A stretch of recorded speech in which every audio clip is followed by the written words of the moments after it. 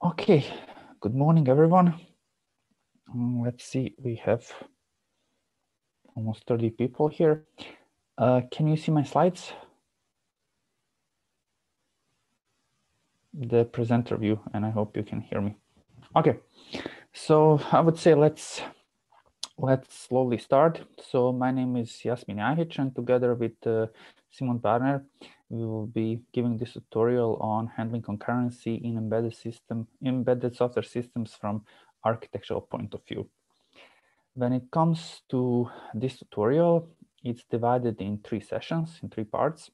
In the first session, we want to discuss really the fundamental issues with concurrency in embedded software systems, but from architectural point of view.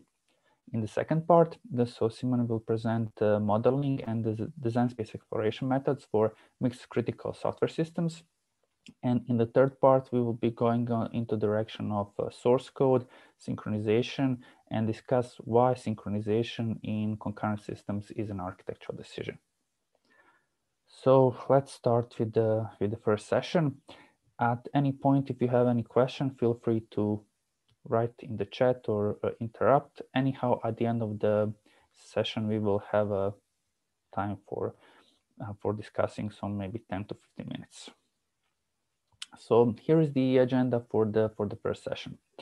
In this first part, we really want to understand what are the fundamental issues with the multi-cores and the concurrency to understand the, the, basics of software architecture and to relate these two. So to understand important architectural properties of embedded multi-core concurrent systems from architectural point of view and how their, how their properties are affected by concurrency. When it comes to the literature, uh, here are some important references that we'll be referring to during the tutorial. Some of them, especially this one, so uh, glimpse of real-time uh, systems theory and practice in the wake of uh, multi-core processors and mixed, mixed criticality. This one and the others are actually previous tutorials organized by HiPEAC, mostly from the HiPEAC Summer School ACACES. Okay, so let's start already with the material. I hope you have some basic understanding of the multi-cores, that you have heard about multi-cores and the multi-threading. Anyhow, we will try and clarify these terms and uh, slowly go into direction why these are actually architectural issues.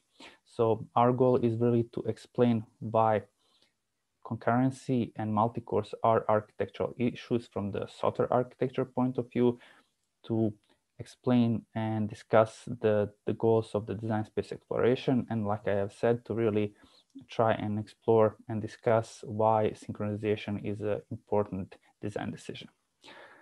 So let's start uh, with by discussing uh, this this diagram and uh, why are we dealing in the multi-cores and the concurrency in the in the first place. So you're probably aware of, uh, of the Moore's law. So the Moore's law says that uh, the number of transistors on a surface of a chip or on the same die will double every 18 to 24 months.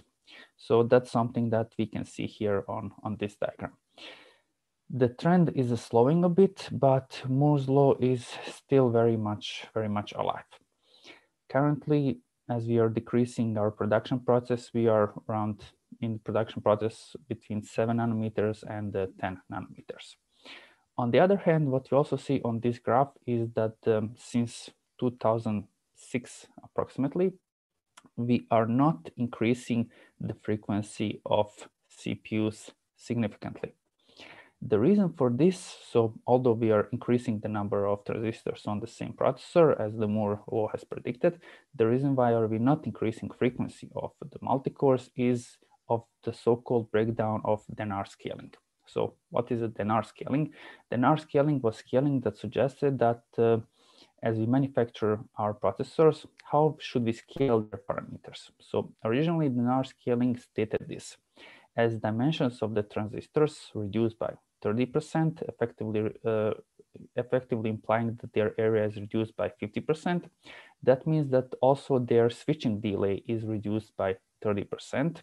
And that also means that uh, it's possible to increase their operational frequency by 40%. At the same time, their voltage is decreased also by 30%, which in return means that their power consumption is reduced by 50%. What does it mean? It means that as we have the number of transistors doubled on the same die, we increase the frequency by 40%, but we keep the power consumption constant. If we take a look at this graph, we see that the uh, power consumption has actually grown uh, through through the time, and the reason for this is that the manufacturer of the processors have tried to squeeze as much as possible uh, performance from the CPUs. That means increasing the frequency as as much as possible. However, what has happened here in the oops, uh, what has happened here in the 2006 is the break of the Dennard scaling. That means that we cannot reduce operational voltage anymore. That means that if we increase frequency now, the power consumption will increase in a nonlinear way. So we have reached a point how much we can cool down the processors with the current power consumption. That means cooling it with the with the pure air. And if you want to cool it further, if you increase frequency further, that means that we need some special specialized cooling solutions which is not option for the uh, wide area electronics. So what happens currently is that we cannot increase frequency any further because if we do, CPU will burn. However, since uh, we are not able to increase performance with the increase of the frequency, manufacturers of the CPUs have turned to other ways of increasing the performance of the CPUs. That means also using this number of different transistors that we are still getting in the each and every generation of the CPUs. And they have primarily uh, they have primarily turned to increasing the number of the cores. That means number of the parts of the of the software parts that we can process concurrently or in parallel. So the current situation in the manufacturing of the CPUs and the processing industry is as follows. The free lunch which was guaranteeing that our software would execute faster with every new generation of the CPU is over because we are not increasing frequency anymore. The manufacturers are using the existing increasing number of the transistors in order to make some improvements in the architecture of the CPUs, which results in the performance increase. And they have turned completely now to the create using these additional transistors for manufacturing new cores, which can process parts of the so, which can process software parts concurrently and in parallel. When it comes to the drivers which were driving the industry for using the, uh, the multi-cores, these are to improve execution time, to improve the throughput, to enable the redundancy. That means if there are several tasks running, why not create redundant tasks that if one fails, the other ones can take over at the same time improving the availability and reliability of the system and also power consumption. That means uh, because frequency and power consumption do not have linear relationship. If you decrease frequency a bit, we significantly reduce the power consumption. So this is the current state of the affair when it comes to the concurrency and when it comes to the parallel processing of our CPUs. Now, let's try to put this in the context, this new reality in the context and the perspective of the software and system architecture. So here is one of the definitions of the software architecture. It says software architecture is the structure of the structures of the system, which comprise software components, the externally visible properties of those components, and the relationship among them. So let's try and discuss these terms which are highlight, highlighted. When it comes to the external visible, externally visible properties uh, of the components, that means their functionality, and that means their quality properties. So for example, performance, how fast one component will execute its functionality. When it comes to the relationship between the components, we're usually referring to interfaces for data transfer between software components and also other type of dependencies which lead to coupling. From the perspective of the concurrency and the multi-cores, what is interesting for us are usually these quality properties, at least in the first part. In the second part, we will discuss these depend dependencies and how they reflect and affect our software system. So when it comes to the software architecture, a few more terms that we need to clarify in order to proceed with this are requirements, drivers, and decisions. So we, we have said that when it comes to these externally visible properties, uh, in the first part, we are mostly dealing with the quality properties. So how this relates to requirements, drivers, and decisions. Requirements are usually stake, stakeholders' wishes and concerns. Not all of them are always relevant, but they are there and stakeholders express them. Stakeholders are any individual or a group of the individuals who may be affected or perceived to be affected by a certain project or a decision. Now, from all of these requirements, it's usually necessary to extract drivers, which are significant requirements, those requirements which are driving the project. And these can be functional drivers, these can be quality drivers, these can be business drivers, and these can be some specific constraints which exist in the project. Finally, for each of these drivers, regardless which type they are, it's necessary to make some design decisions to address them and proceed with the design. So those are basic terms of the software architecture and through the quality properties, we relate them to the ideas of the concurrency and the multi-cores. Uh, the typical process is as follows. So it's usually necessary to collect the requirements, to filter out the requirements, so to identify those which are significant for the project, do design space exploration and see what are the available solutions, from the available solutions, do the reasoning and choose the ones which are appropriate. And for those which are appropriate and adequate, make adequate decisions and then proceed with the development of the system. So it's not a, architecture is not a phase, it's just a part of the process of the software engineering, depending on the development methodology, if it's in a different ways. But this is a general idea how we go from the concerns and the wishes to the design decisions. Okay, so why is this important to have this uh, architectural view on concurrency and uh, on the multicores? Well, we have mentioned at the beginning, what are the drivers for using the multicores? Execution time, re uh, reliability, availability, so that means introducing some sort of the redundancy and power consumption. We will be mostly focusing on the execution time in this tutorial. So from the architectural point of view, we consider these as quality properties and the quality drivers. But general in software architecture, the quality properties and the quality drivers are the hardest type of the drivers and the requirements to be expressed and to be captured. Because usually what we get from our stakeholders is that the system should be fast, our system should be secure, our system should be safe, available, reliable, so all of these nice keywords, but in reality, they do not mean much.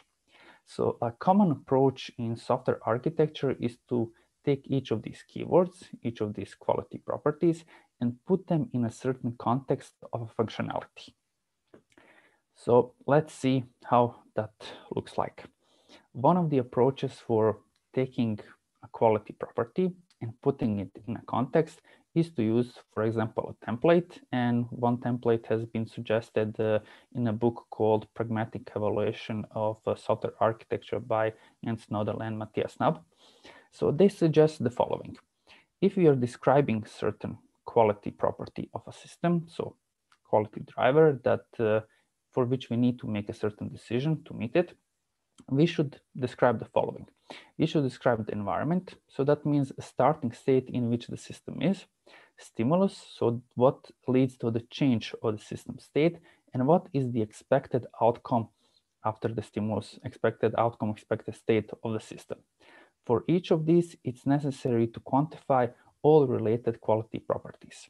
So in this first part, we will investigate what are all those related quality properties when it comes to the multicores and the concurrency and how they're related to those primary set of the uh, quality drivers that we mentioned at the beginning. So let's first start by identifying the basic set of the quality properties, uh, which we mentioned at the beginning. So if we think about the performance, we can say it's equivalent in what we're trying to do here to the execution time, redundancy and the power consumption. So these are our three main quality drivers, and we will discuss we will be discussing them further. Mostly we'll be focusing on the execution time. So let's try to put execution time and the multi-cores in the same context by using this template which we have just described. So this is a very naive example. So let's say that we have an application which is executing on a single core CPU. So number of the cores is one and there is some execution time. We are migrating to a double core CPU. So the number of the cores is two. And as a response of that stimulus, we want to see that our execution time is reduced by double. Like I said, this is a very naive approach, but that might be the first impression about using the multi-cores. Reality, however, is much different. And when it comes to the concurrency and multi-cores, now we'll be discussing two laws which are setting the theoretical boundaries of what kind of speedup we can achieve by using the multi-core. So that means processing certain tasks in parallel. The first law that we'll be discussing is called the Amdahl's law. So already in uh, uh, in this 19, 1967, uh, so well before the breakdown of the Dennard scaling, Amdahl published his paper. And in this paper, he has this quote. So if one decided to improve the performance by putting two processors side by side with shared memory, it would end up with 2.2 times much hardware. So for his setup and with the maximum mode of 1.8 speed up. So that means if there are two processors, the maximum speed up according to Amdahl because of the usage of the of the shared usage of the other hardware parts would be 1.8. So that already is not what we were expecting. It's already less than two if we have two processors. Why is this the case and what are other implications of the Amdahl discussions? Well, Amdahl discussions will later will later summarize into something uh, which is called Amdahl's law. And the conclusions are the following. The conclusions of the Amdahls are that if we take our software and divide it into parts which can execute in parallel, the total execution cannot be faster than our slowest task in the system. That seems logical and uh, obvious, but it's an important implication. So if we take our software divided into tasks and we execute all of those tasks, the total execution, regardless how many cores we have, cannot be faster than the slowest task in the system. Another assumption that Amdahl has made is about the scaling of this part, which can be parallelized in the software. So what he has said is the following. If we have n cores, how can we calculate what is the speed up of our system? So we calculate how the software would execute if it would execute on a single core and if it would execute on a multi-core with the n cores, we divide that. So sequential execution and the multi-core execution, and we get the speed up. In the first case, the execution is part that cannot execute in parallel, so cannot be divided to execute on several cores. And the second one is the part that can be parallelized and divided to execute on several cores. But in the case of the sequential uh, execution, these are just the simple sum. If we have an execution on the multiple cores, the part which can be parallelized can execute on the multiple cores. That's why it's divided with the number of the cores. So important assumption here that Amdahl has made is that uh, a parallel part of the problem can scale indefinitely with the number of the cores, which actually is rarely or almost never the case. So Amdahl, what Amdahl has assumed and made a very pessimistic prediction about the execution time on the multicores. It says that we cannot be faster than the slowest task. It says that uh, it made an assumption which is not always correct, uh, which is actually really correct, that this part which we can parallelize can indefinitely be scaled with the number of the cores. And it has also made an assumption that whatever happens, that means if we keep in increasing the number of the cores in our system, and we have this part which can be indefinitely parallelized, eventually we will be limited by the part of the software which cannot be parallelized and which can only execute sequentially. So these are important assumptions of the Amdahl's law. And in total, we can conclude that what was Amdahl actually observing was a fixed problem so consisting of a part which can be executed sequentially and the part that can be uh, parallelized. And he was looking how to improve execution time of a single task. this is very, as I have said, pessimistic projection of uh, what can be achieved uh, with the with the multicores. So if we take the results of an experiment and on the left side is a speed up and on the so on the y-axis is the speed up on the x-axis is the number of the cores if we have only 1% of software which cannot be parallelized which is excellent case actually and if we have so that for that 1% if we have 64 cores the speed up is only around 35 times. So you could say it's almost double less than what we would be expecting with adding the 64 cores. So it's a very pessimistic way of observing what can we do with the multicores. Another law which is valid in this area is Gustafson's law. So Gustafson's law offered a different perspective. It pointed to the fact that uh, as we scale the number of the cores, we are also scaling the problem. So that means the Amdahl law was limited how can we improve execution time of a single task, while Gustafson's law said, okay, as we're increasing the number of the cores, we're increasing the size of the problem. So what we are actually doing is we are increasing the throughput. So two, uh, the important conclusions of discussions of these two laws are, it is not possible for an application to execute faster than its lowest task. Parallelized part of an application does not scale automatically with the number of the cores, but it is always possible to increase the overall problem size and therefore it's possible to increase the throughput of the system by using the multicores. So these are some theoretical boundaries when it comes to using the multicores. And this has been uh, visualized. There's a really nice paper about it. So this is a Amdahl's observation.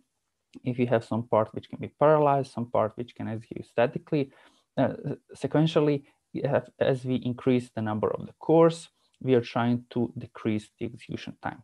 In the case of the Gustafson, what we're trying to do, we're trying to add more and more work to be done, but we are executing that work in a fixed time frame. So the problem is not fixed, but the time slot is fixed, and we are trying to increase the throughput. So these are technical, theoretical limitations of what we can achieve with the multicores how this fit in with the quality requirements and quality drivers of our software system. So when we when we said that we're focusing on the execution time, we didn't actually say on what kind of execution time we are focusing. So if we think about the execution time, there are two dimensions. In terms of the uh, execution time in one dimension, we can observe average execution time and we can observe worst case execution time. In terms of the type of the software, what we can observe also is single task and a group of the task. Meaning if a single task, if we have a single task and we are reducing its average execution time, what we're getting out of it as a quality property is better user experience and if you are decreasing its work execution time, this is relevant usually for the real time, for the systems with the real time constraints. Now, if we have a group of tasks and if we are reducing their average execution time, that means that we can usually add more features to be executed in the same time slot. So equivalent what Gustafson law was saying. And if you're talking about the worst case execution time, again, that usually means for that's usually relevant for the systems with real-time constraints and also relevant in the systems where you want to achieve this freedom from interference between the tasks. When it comes to the embedded software systems, this is usually how the software executes in embedded systems. So there's a set of tasks, there is an infinite loop, they're executing one after another in iterations. And in case of the interrupts, we have the handling of the interrupts. So this is important in order so that we try and relate these quality properties that we have discussed with the properties of the embedded systems. So I have already explained the uh, real-time constraints and the worst-case execution time uh, and their relationship.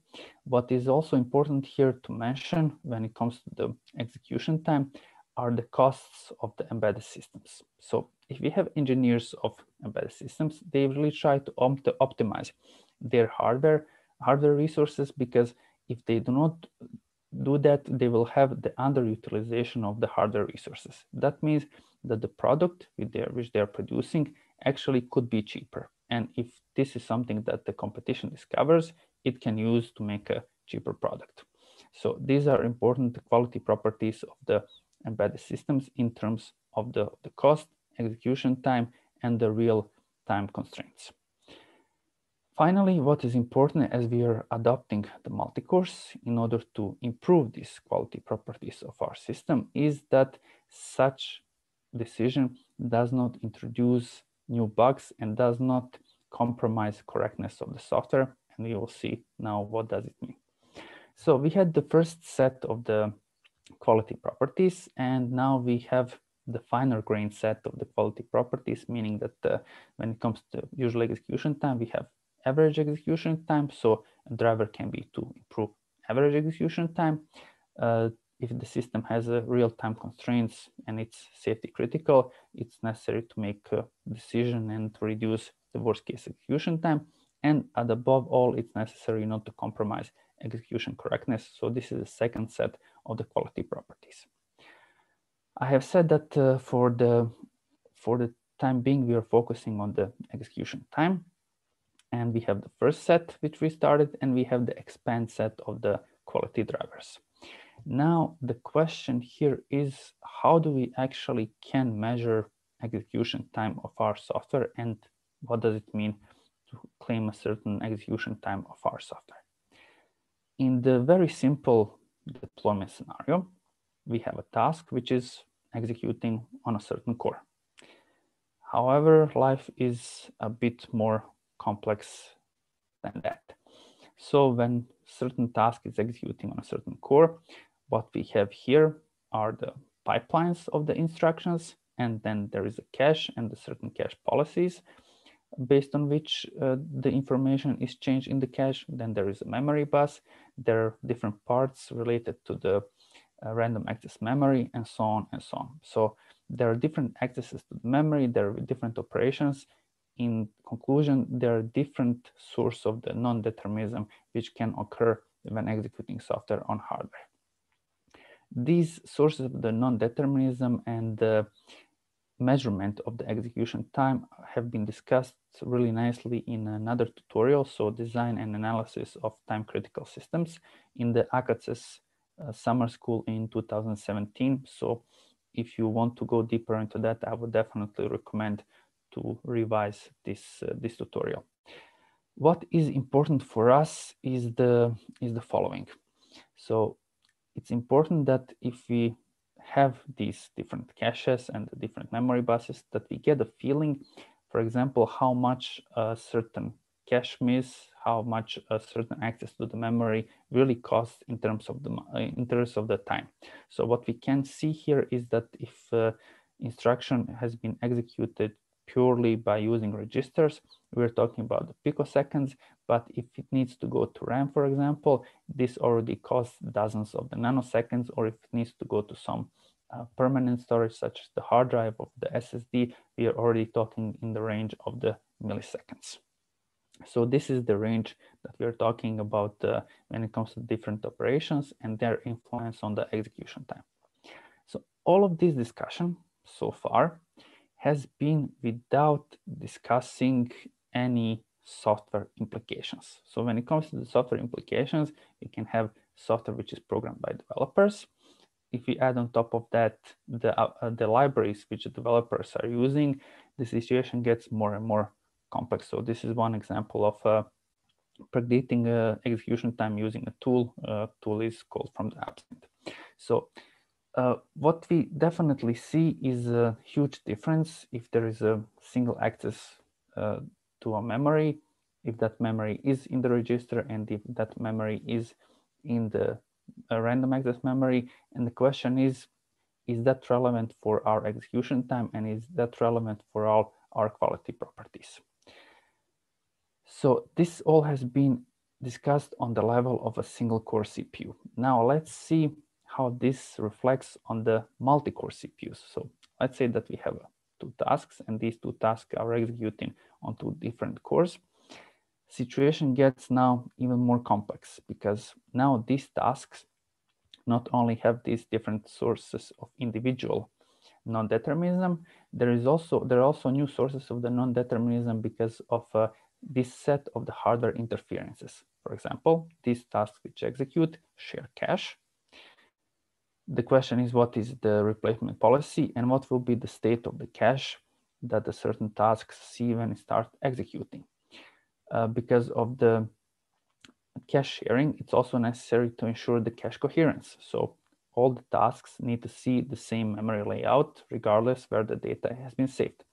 Then tasks are also sharing the memory bus. So if one task is one core is using the memory bus, other one has probably have to, has to uh, hold and wait. So all of these are sources of the non-determinism and the sources of the issues when trying to predict execution time on a single core, but it gets even more complex on the multi-cores because of these hardware interferences. Now, if we discuss uh, worst case execution time situation is even more problematic.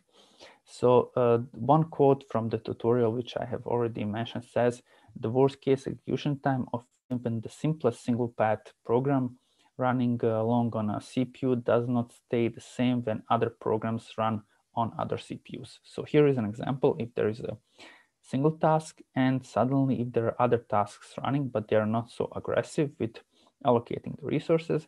And here is the execution time of such task. If we have a different task which are running and which are very aggressive about the resources. So we can see that the execution time changes almost three times, which is a big deviation from average execution time. So this is the worst case execution time and like I have said, really problematic on the on the multi-cores. The situation gets only worse with the multi-cores because there are more and more quality properties and drivers that we have to consider. So what about the scheduling? So let's say, as in the first example, on one core, we have a task, seven milliseconds, and the other one, five milliseconds, they're executing. And now we want to add a new task, which is seven milliseconds, seven seconds, sorry. The question is, where do we add this task? Well, if you just, let's say, add it to the core and execute it on a core where there is a five seconds task, what we get is a improvement speed up, theoretical, without considering anything else of 1. Point, let's say 6 uh, speed up. Uh, and if we keep adding all of those sources of the uh, of the non-determinism, we might end up actually executing it slower than on the single core. But what is important here to add is uh, what kind of design decisions we can make on this level. So uh, the first one of them is where to put task to execute. And the second one is, are two cores really the best solution for this? Or we need to go, for example, for a course, four cores solution. So let's see how this affects uh, prediction of the execution time. So considering scheduling, in this case, for the scheduling, it's not only about adding a core, uh, adding a task to a certain core, but it's also considering all of this complexity for that scheduling and all the outcomes that can that can uh, come out of, from this scheduling and execution on such a complex platform. Because of this, engineers in embedded systems prefer to limit concurrency as much as possible because they want to predict worst case execution time and average execution time for a certain scenario. So that means for a certain execution on course, for certain execution of the tasks uh, considering certain scheduling policy. And they, they, for example, want to handle interrupts on a certain course. They want to give priorities to a certain course, uh, which uh, and the tasks which lead us to the third set of the priorities of the quality drivers for adapting multi-core. So those are core affinity if a certain task is pinned to a certain uh, core. If there's a certain scheduling policy, for example, in terms of the priority and so on, and if uh, how interrupts are organized, what is their priority, and where they are going to be handled. So these properties are possibly to uh, to introduce in the in the embedded systems. Uh, are there any questions? I think I saw. Okay. I think we can discuss then this at the, at the, ah, okay, the top of my screen seems to be blocked. Uh, is it now better? No, there's also something on the right-hand side now. Okay, is it now better? Yes, but there's still something on the top. Okay, unfortunately, I don't think I can. Is it now better? Sorry, no. Ah, yeah, now, now it's good again. Okay, sorry, it's uh, double screen and uh, now it's at the bottom again. let, let's see where it blocks less content. If there is content, I will just keep switching it up and down. Okay, so uh, I have discussed the scheduling. Here are some definitions about the scheduling, but I would skip them so you have them on the slides. What is important here when it comes to the scheduling? When it comes to the scheduling, the following parameters are in the game. The first one is the number of the resources. That means number of the course, the number of the tasks, and then for this combination, number of the course and the number of the uh, number of the tasks is necessary to maximize the utilization of the cores, is necessary to minimize the preemption, and it's necessary to minimize the spinning. Utilization of the cores, I think it's clear, so we don't want to end up with underutilized hardware because that means higher cost for something that you're not using. What about preemption and the spinning? preemption generally is not considered to be a good strategy if we want to make sure that we can predict our worst case execution time because if we preempt a task we never know what is the state of the cache and that as we have seen can have a significant influence on the execution time the second one is spinning so alternative to preemption is if we don't want to preempt the task and it's waiting for something. We just can leave a task to spin. So basically not doing anything, waiting for something to be available. This increases utilization, but it's actually also a waste of time. So these are uh, parameters which are important. And then there's a theorem in, from 1992 which says no optimal online scheduler can exist for a set of jobs with two or more distinct deadlines on any platform where, where number of the cores is larger than one. So this is the theoretical limitation that there exists. In practice, so I will try then now to move this up. Okay, I hope you can see it. In the practice, what does it mean? So let's say that we have our example. We have two cores. We have three tasks. And we execute the first task. So after five seconds, this task is executed, this task is still executing. We are trying to schedule this task. Whatever we do, so whatever scheduling we do at this point, we are still going to have five seconds of the underutilization. So here really the, the question about the online scheduling is when it's too late to start doing the scheduling. And like I've said, this is just a superficial overview of the topic, but there is a excellent tutorial, uh, which I recommend again, which really goes into the details and uh, also how to overcome those limitations of the of the previous theorem, at least to, to minimize them to a certain point. Okay, so what would be ideal in, in this case, in the this case of the scheduling, if we have these three tasks, is if we take one task and divide it into two parts, and theoretically, ideally, not really, but let's consider ideal case, we would end up with the tasks that take the same execution time on the both cores. So we take task three and divide it, execute a bit here, execute it a bit here, and theoretically we have the two times of the speed up because we have two cores. What are the potential problems here? Well, one potential problem is that these threads might communicate over the shared memory if they need to communicate over the shared memory, we have to them. The problem if they communicate over the shared memory, we don't synchronize them is reflected in terms of the concurrency bugs, for example, data races. So here is one example. In the first case, threads are executing their operations on the shared memory, but these operations are sequentially ordered.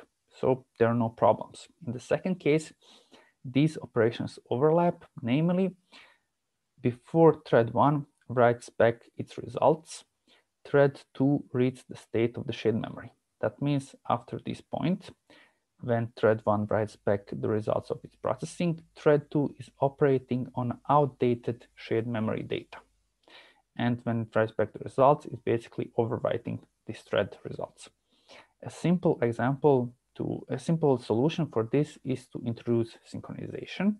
For example, locks the problem now with the locks is that one thread has to wait for another before it completes its execution in order to proceed. So the result is correct, but it has a further implication on the quality of the system, especially on the execution time. We will see later with the synchronization how this, how this develops even further.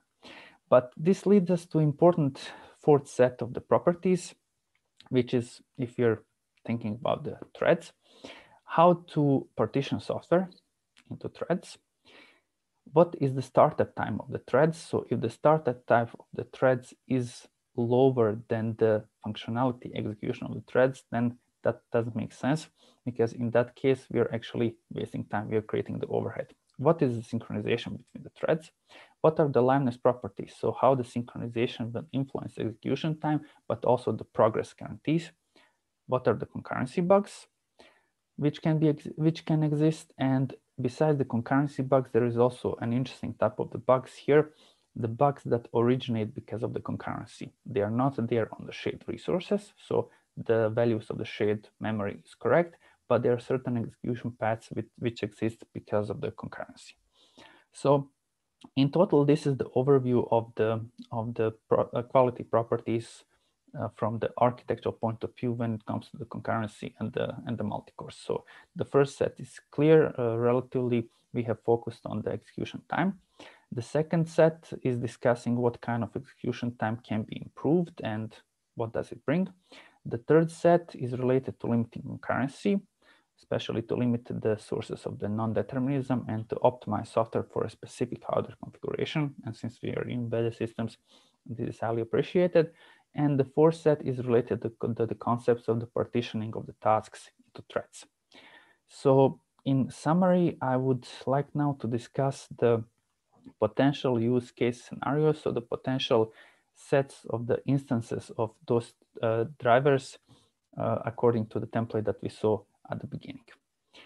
So we can skip this part. So let's start with the with the first case. So really the, the free lunch. Uh, if we have a single task, which is executing on a CPU, and if we migrate it to a CPU with a, let's say, higher number of the cores, can we have significantly reduced execution time? So let's see how this propagates. If we have a task which is not partitioning, which is not partitioned, so a single task executing, no other task, and we move it to a CPU with a higher number of the cores, well, this is irrelevant because those additional cores are not really contributing to anything. When it comes to the CPU improvements that exist in the new generation of the CPUs, they can play a role, but this is out of our scope, so we're not discussing this in terms of the concurrency. The frequency might be increased in the new generation of the CPU, might not, but so that means that this is minimal or relevant. Significant improvements can be made in the memory, organization, hierarchy, and so on. But again, this is out of our scope. So in case of this free lunch, we could say that really migrating a single task to a new multi-core CPU platform, really we cannot expect any significant reductions of execution time. Second scenario is if we have a multiple tasks, they are migrating to a new multi-core CPU, can they significantly reduce their execution time? And the important parameters for this are the number of the cores and the set of the set three of the parameters. So we have several tasks, we are migrating them to a new multi-core platforms.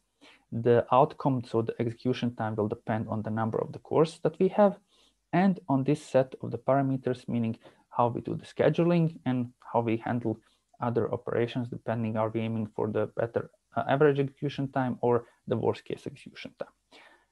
In this case, we are not considering uh, any partitioning of the tasks, just pure migration of the several tasks to a new platform.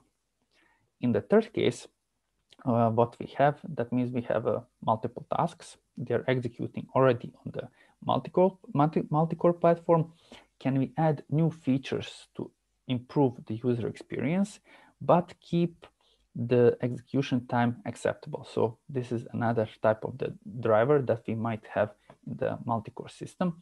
So mainly what is important here and what we, the only thing that we can affect is the scheduling policy of course, under the we're still uh, observing the case when we where we do not have any partitioning of the tasks. So scheduling, perhaps core affinity, and uh, how we handle interrupts. Maybe we can organize these parameters in order to squeeze out some performance if we keep adding new tasks. The next scenario is where we have uh, multiple tasks. They're executing on a single core C uh, on a multi-core CPU and we want to try and to improve their execution time. So we're not adding new tasks as in the previous case, we just have the existing ones and we want to reduce their overall execution time. Again, if we don't do any partitioning, this is only possible by setting this third set of the parameters, namely scheduling and then other parameters. So two more scenarios to go. The first one is, okay, we have tasks. We are moving to uh, multi-core, so they are executing on, on multi-cores, and we want to partition the tasks into threads. Can we do that in a way that we reduce the overall execution time? Uh, in this case, we're in this uh, the fifth scenario. We're talking about a single task, so it's executing on the multi-core. We want to partition it in order to have threads which are taking advantage of these cores. Can we have significantly lower execution time? So in this case, if it's if this is the wish uh, to do that, uh, we'll try to put this down. Okay, uh, what are the important parameters which need to be quantified in this driver? Well the first set three of the parameters, the scheduling policy, but that might not be the most important thing. The most important things are, uh, which are predominantly influencing the performance, are the ways and the means how do we partition the software. So that means if we take a task and if we can create uh, the threads which are of approximately the same execution length or of a different length, but then with the uh, scheduling, we are able to execute them in a way which reduces this execution time, then this is feasible. The next thing is uh, what is the start type time of the threads. So we have to make sure that the functionality which thread executes is longer than the time which is required for a thread to start because depending on the libraries and how do we start threads, this might not be the cheapest, the cheapest option. And this is the case when there are no dependencies between threads. So single task, multi-core, you try to partition, yes, but if you want to do that, these are the types of the additional quality drivers that you have to discuss. And the final, uh, final scenario is where we have, uh, where we consider a case uh, where we have a, a task which is executing on a CPU. We have a, oops, let me just try to put this up. Okay, uh, we have the uh, multi-core CPU. We are partitioning these tasks into uh, threads which can execute and take advantage of these multiple cores. But compared to the previous case, now we have dependencies between the threads in terms of the shared memory because in this case they need to communicate.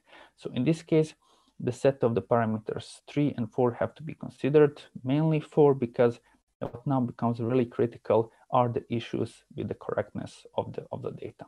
So these are the cases which originated from a very simple set of the requirements that we want to use multi-cores and we want to use concurrency in order to improve our execution time. So I think we can skip this. Okay. Uh, just a short notice when it comes to the multi-cores. So the one of the main drivers for multi-cores we are discussing now was to improve execution time of the software. That sounds great, but as we have seen, there are a lot of issues. Now, here is a, uh, an example. If we would, for example, if we would optimize our programming languages or just use programming languages. So uh, this is an example from, uh, I think it's from, yeah, uh, here is the reference. So if we would execute an example on Python, and execute the same example in C, but with certain optimizations, we could get, we could reduce seven hours of the execution to 0.41 seconds. So the question is really, is the optimization that we have chosen in terms of the multi-cores and concurrent execution the best one? For some cases, it works great for the embarrassingly parallel uh, programs where we don't have dependencies and the cases in the GPUs, but for the CPUs and the threads, it can be challenging. So there might be other places where we could uh, do the optimizations and get our performance. Okay, so think we can skip this one as well. So to, to conclude then this part, and then we can discuss the, the questions. So in conclusion, we started with a really limited set of drivers. So to improve the performance using multi-cores, to improve perhaps redundancy, and to decrease power consumption. But as we have seen next to these basic drivers, as we start planning our system, there are related and follow-up requirements and drivers. And for this, it's necessary to make design decisions. So it's necessary to address and decide how we are going to deal with these follow-up properties of our system. And if we don't, we as architects do not make those decisions, developers will. And the question is, will the system that developers then take care of designing fulfill our requirements? That's why we're trying to make these quality drivers and quality properties explicit. In the part two, we will be exploring further the design decisions related to multi-cores in terms of safety, redundancy, and how to derive suggestions for potential architectures. And there will be some limited model of power consumption for multi-cores. And in the third part, then we'll be dealing with uh, uh, correctness and synchronization.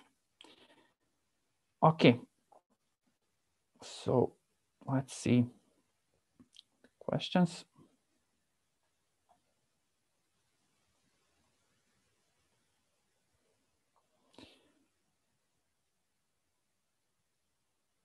Okay, the first question is, can you please repeat what happened in 2006 that increasing the frequency was not an option anymore?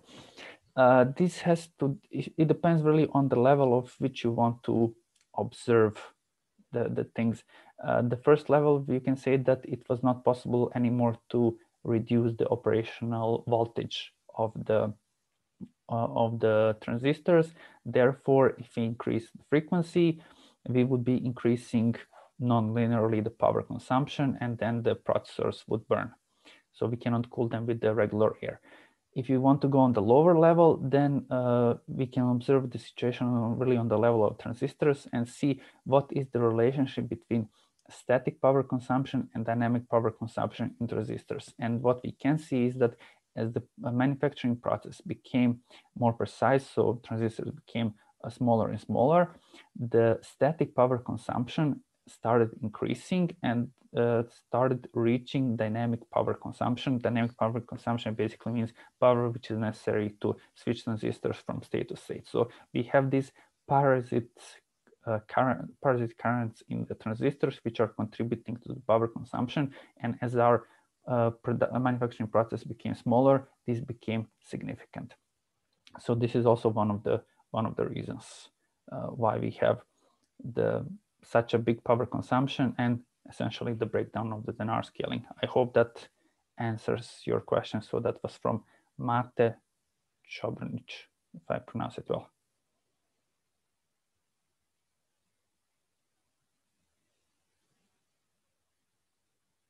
Okay. Uh, so there is a, a question about the power wall. I think I explained, but if you need more, let me know. Uh, more questions about oh, the Windows body presentation. Uh, slides uh, should be already available on the link that I have set at the beginning of the of the presentation of the of the presentation. But uh, yes, they should be already there available uh, absolute versus relative speedup in the last speedups chart, the one with the different languages. Let's try to go there. Okay.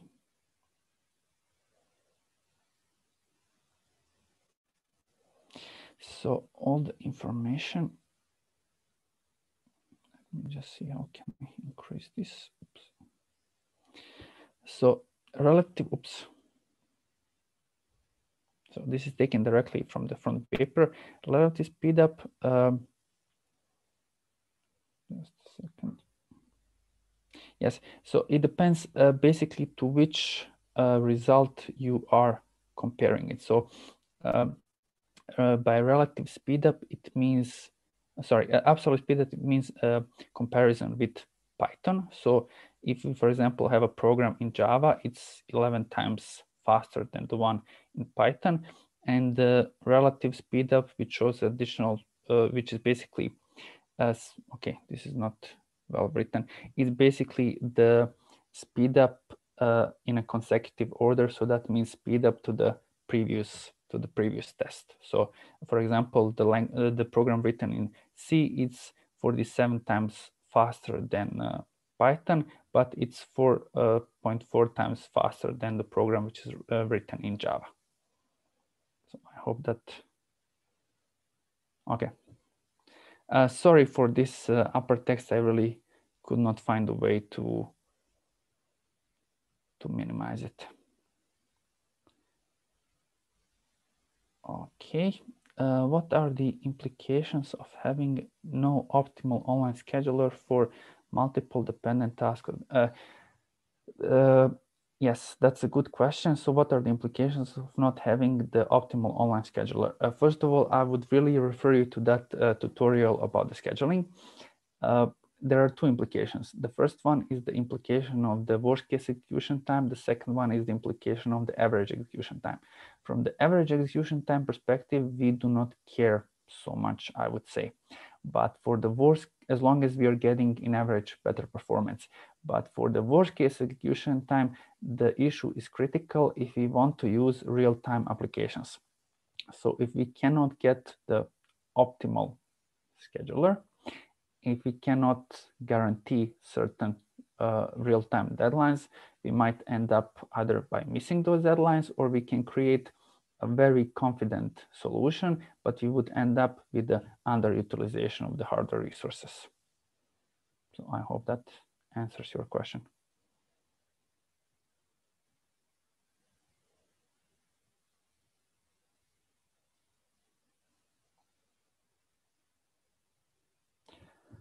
Okay. Um, okay, question is which tutorial? Um, let me just navigate.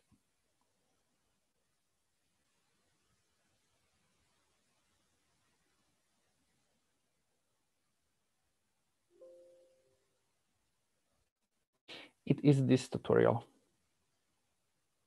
it's uh, if you're registered on HiPEAC, and I assume you are, you can access it there. Uh, and I don't think they also they have the slides.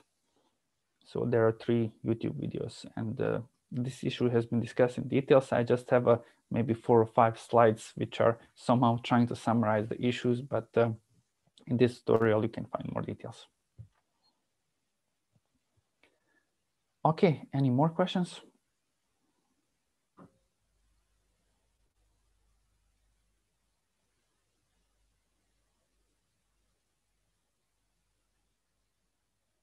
Then if not, we will make a 15 minutes break and then we will continue with the second part.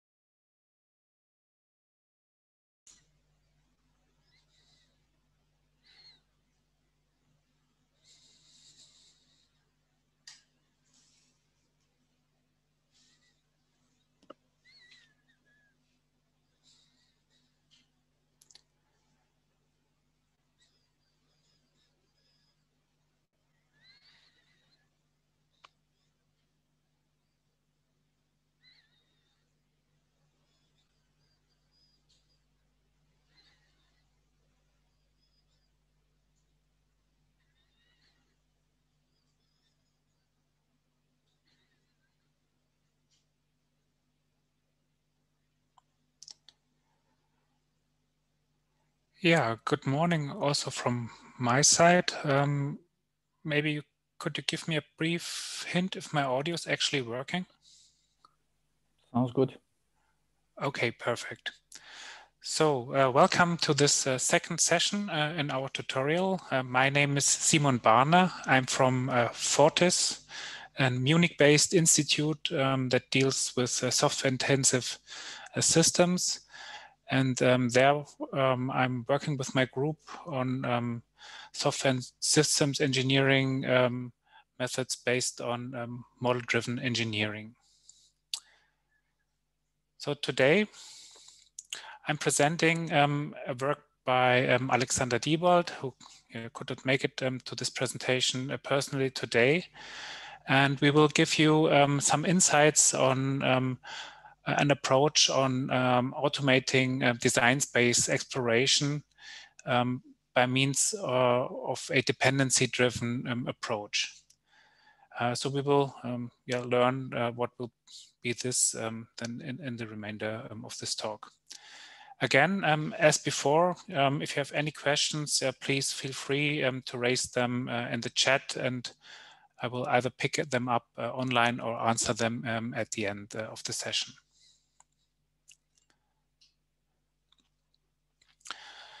So um, as we have heard before, um, systems are getting more and more complex. And uh, while uh, Jasmin was focusing here um, more on the on the hardware aspects, on, on the chips, um, this of course applies um, to systems in general.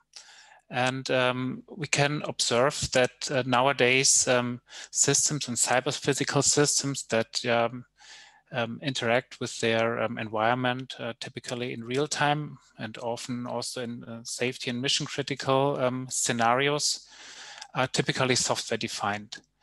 So we have an um, yeah, ever increasing a set of um, functionalities um, uh, on the system with uh, yeah, multitude of contradicting or very often contradicting requirements.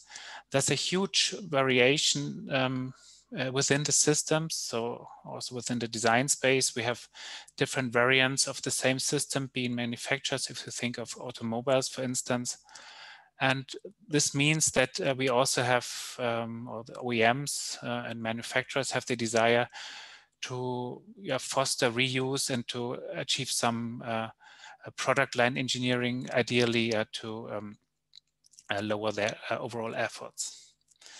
I gave you here some examples um, um, on the size, how, how, the size of such system has evolved, um, starting from a um, simple um, iPhone app in the beginning. And um, if you see how this develops, now we have already here 25 million lines of code.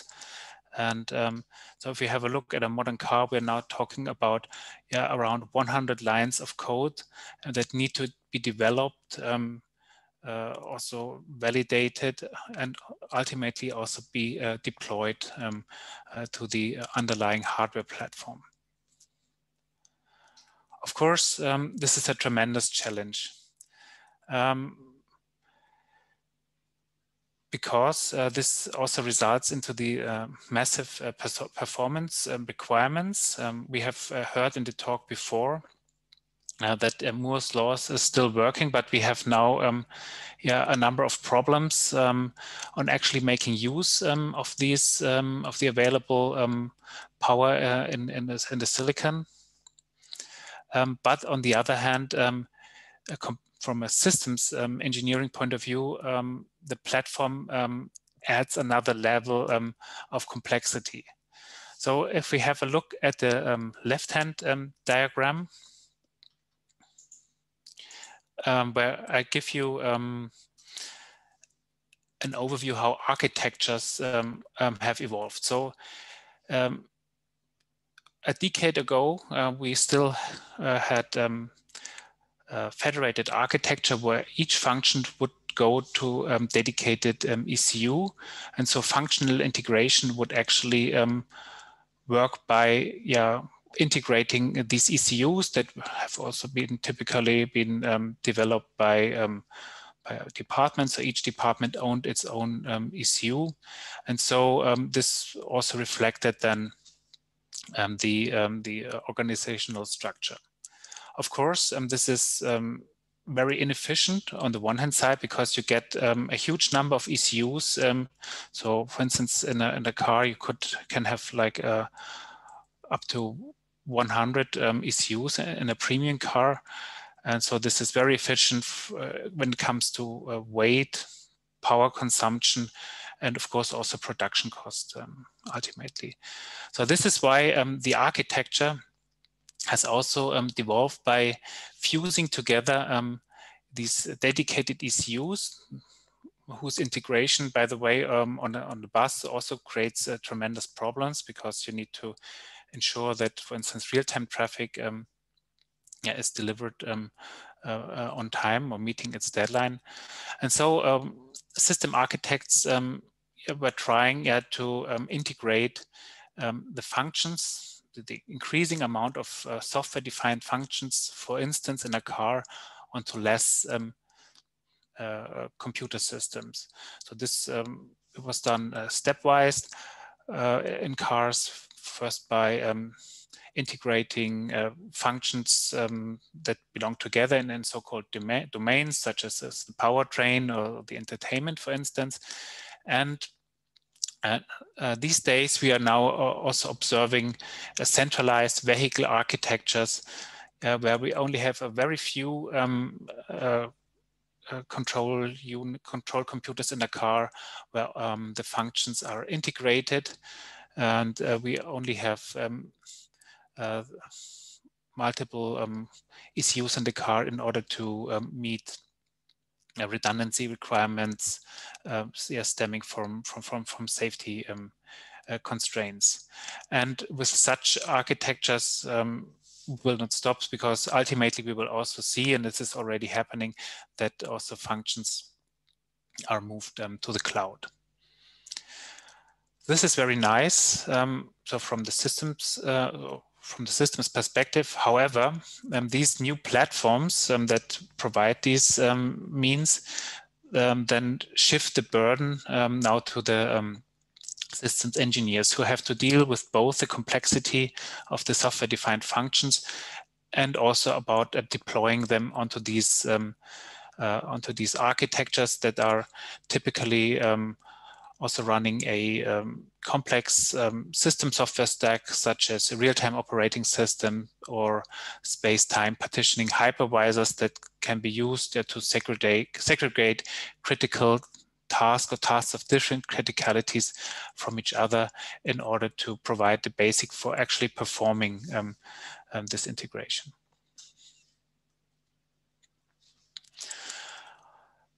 On this slide, I'm giving you um, an example of a real world example um, of one subsystem in a modern car. So this could be, for instance, be a, a traffic jam assistant. Um, but already for this limited functions, we would have something like uh, 30 tasks um, that uh, it's, it's uh, in the example that, that we investigated um, in this uh, in this paper here that we also submitted in in, in WATERS um, Challenge um, two years ago. Uh, around 10 ECUs were used and also uh, numerous um, signals between the different tasks um, are exchanged. And you can imagine uh, that um, integrating such a um, an application uh, onto, uh, onto uh, the underlying platform, considering non-functional requirements such as separation constraints between critical and non-critical tasks, temporal constraints for um, time-critical um, uh, parts of the functionality is an enormous challenge. In particular, if you consider that this is only yeah, a fraction of the software that is used um, in a car.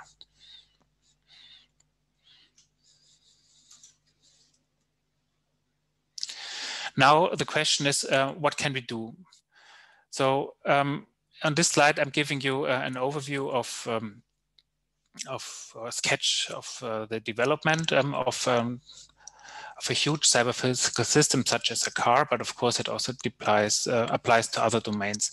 So we um, typically start um, with a collection of requirements, which we are also required um, to document because of uh, the safety assurance that we ultimately have to do. And from there, um, the initial designs um, are derived. And um, on the other hand, um, we also have to think, ideally as early as possible, about how to um, implement such a um, system that is still um, specified in the platform independent um, uh, fashion could be uh, mapped to a platform or what would actually be a good platform yeah, for this uh, system under design. And um, yeah, once we have, uh, so this is of course then an iterative process about um, collecting the requirement, after collecting the requirements, designing um, uh, the system on a logical level, um, deriving a good candidate for the um, for the architecture, and then to um, implement um, the functionality uh, in terms um, yeah, of code and to deploy it to the running system. So as um, indicated earlier, um, there are numerous um, of constraints um, that we need um, to consider here. So one is timing, as mentioned before. Others are safety requirements um, could be mitigated by, for instance, separating critical and non-critical functions or by placing uh, additional components, uh, matching uh, or implementing safety patterns such as uh, monitors um, and so on in order to um, uh, help building the, the safety case and for the system. Uh, so also introducing redundancy um, on the hardware level and to make a choice um, uh, where to put the same functionality or functionally functionality onto the same uh, hardware units, but to use um, partitions provided by a hypervisor to implement the segregation.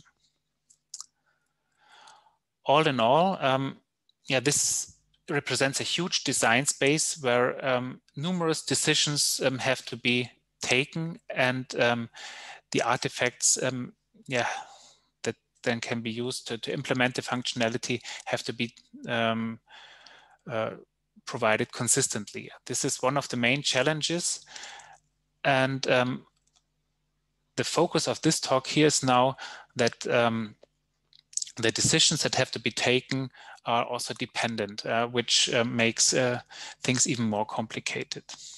So for instance, um, when uh, deriving yeah, um, a safety pattern and uh, then coming to the um, solution that uh, we would need um, additional um, redundancy in the hardware. This then, of course, then also impacts um, uh, the, the, scheduling and, and, the timing uh, properties um, of the system. Now, um, the question is, what can we do about this? So one possible approach is yet to um,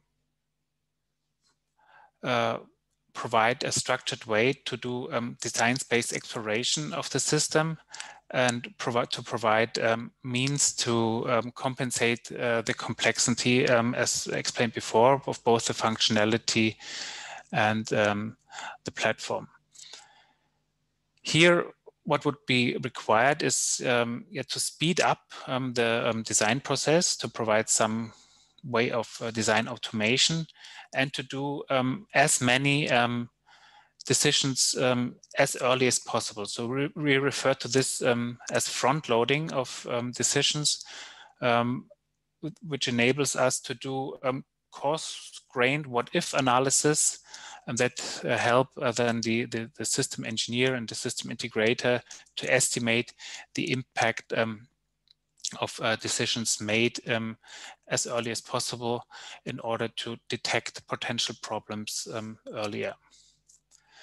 And as mentioned before, um, these decisions are not um, independent, but they're they're linked, uh, and so. Um, but still, we would like uh, to decompose the decisions in order to uh, structure the problem into smaller parts to make them uh, yeah, make it feasible to actually solve them, but also um, to uh, enable to reuse uh, parts of the design space exploration methodology that I will um, explain in, in, in, the following. So um, in this talk, um, I will um, present to you an approach um, that uh, combines design space exploration that uh, can help us yeah, to, to answer these questions with model-based engineering, leading to what we um, have coined um, model-based design space exploration.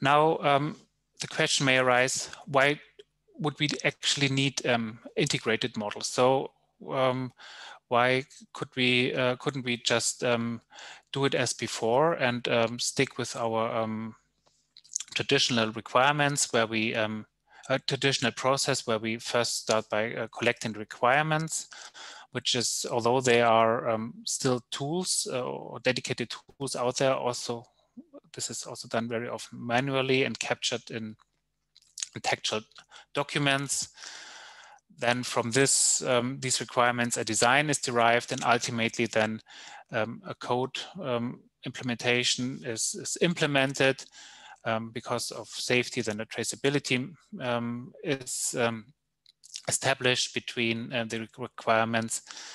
And with uh, embedded systems, we are, we are still not done because typically we will also need um, in, in, addition to the code, we will need complex uh, configurations that need to be uh, consistent um, with the code, such as um, scheduling tables or um, yeah, mappings of tasks um, to, to, the underlying platform and so on.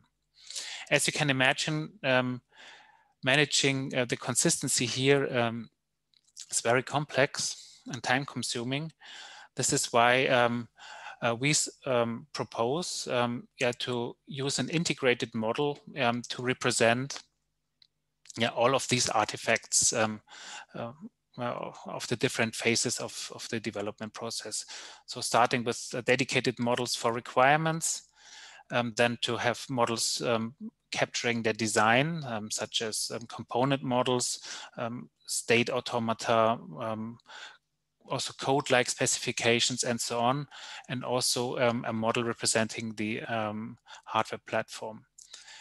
The advantages of this is that we can uh, keep um, traces between the different uh, the models used in the different um, uh, phases here of the development, and then use automation um, yeah, to synthesize um, implementation artifacts uh, such as code. So if we actually go um, the entire way and use um, uh, also um, uh, formal specifications um, of the um, of the functionality of the system. Although this is optional because we could also just uh, stop when uh, modeling the with modeling the architecture and then when the architecture is fixed uh, uh, do the implementation yeah, in, in a traditional code-based way.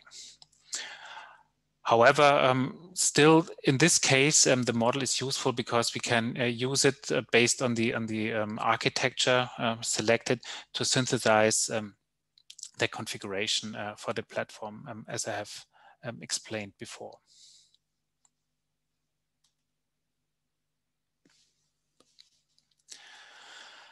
Now, model-based design space exploration, as I said, aims at compensating the design complexity um, that is inherent um, to software-defined um, cyber-physical systems. And it does it by um, providing automated means um, to explore all the different um, alternatives by using either optimization methods or formal methods, so provided by some solver backends, yeah, in order to support the engineer um, with uh, uh, different um, suggestions for how um, good um, designs could look like. So we have um, then for DSE as the inputs typically uh, models of the of the underlying platform or the, the, platform that we start the process with, and also um, uh, at least an architectural model um, of the of the uh, application to be deployed to the platform. And from there on, we have then automation um, to decide on how to combine these artifacts, how to possibly modify them, and to um, synthesize solution artifacts such as uh, configuration or code. Here, the prerequisite is um, for such a process yeah, to, to work well is that the models have uh, strong semantics. Um, because if uh, this is the case, then we can uh, catch uh, errors yeah, in very early phases already. So this starts with, um, as uh, in quotation marks, easy things as validating uh, the user input. Uh, so if we just have a plain boxes and wires model without any semantics, um, then we surely cannot do anything. Um, but if we provide some meaning to our models, then we can already guide the designer in, in very early phases. And um, also, if um, models have uh, strong semantics, this means that they can be uh, processed automatically. So we can automatically derive um, design alternative or potential solutions that satisfy um, certain constraints, uh, for instance, stemming from safety constraints, from, from safety, but they could also be constraints stemming from, from the platform, such that a certain task can only run on, on a specialized hardware because an, an IO is only available there, uh, and so on. And additionally, we can also use um, them yeah, to uh, perform optimization. Um, so to find not only just one solution that uh, satisfies the constraints, but a solution that also um, meets uh, certain design goals.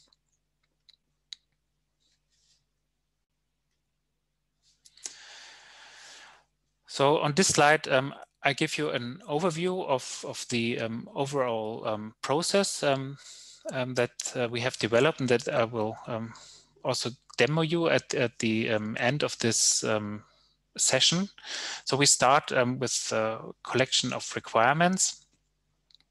And um, from there, uh, the system model um, is defined in terms um, of a logical hardware independent architecture of the system, then uh, a rather fine-grained um, description of the underlying uh, platform in terms of the hardware, in terms of hypervisor partitions, um, tasks um, that are uh, actually used to, to host the software-defined um, functionality, and then also deployment models yeah, that link the logical part, so the software part, and um, and and the tasks, and that also map tasks then to hardware execution units.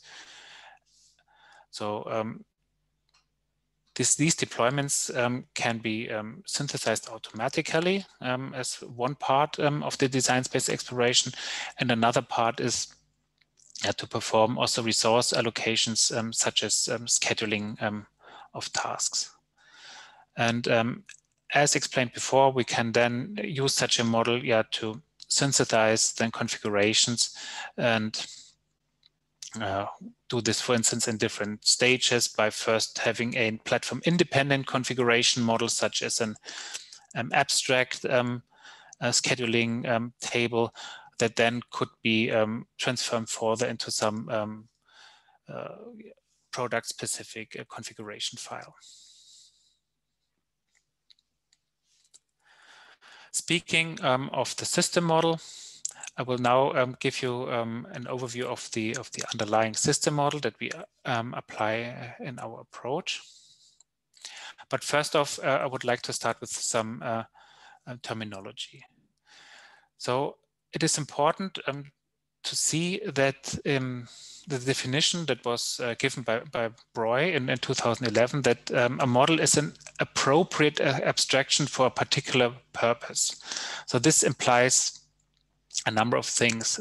Uh, most importantly, that of course there is not the um, single model for a, a, certain system under design, but there are uh, arbitrarily many, and we have to choose one that matches um, our um, current task at hand uh, the best. And this means that models are then also um, specific um, to this to this task.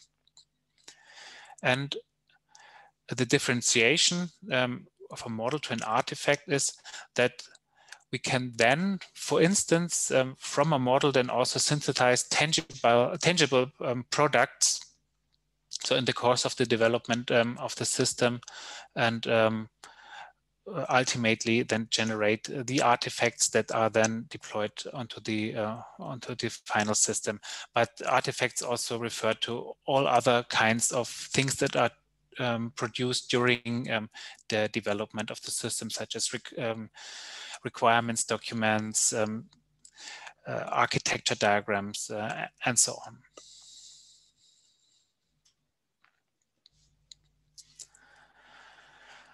Now, when it comes um, to modeling, um, we also see, uh, we also have uh, uh, yeah, the differentiation between um, viewpoints and views.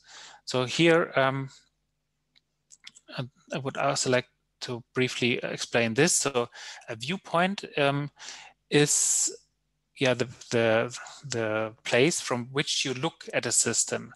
So which aspects um, in the current um, uh, task you are interested in the system in. So this could be, for instance, be uh, logical a logical viewpoint onto the system where we don't care about um, hardware or platform specifics yet. It could be a temporal viewpoint where we just um, care about uh, the timing um, of the system and so on. And for a viewpoint, we can then um, yeah, create, um, for instance, a model if we use a model-based design. And um, we also refer uh, to this model then also um, as a view um, of the system from the respective, respective uh, viewpoint.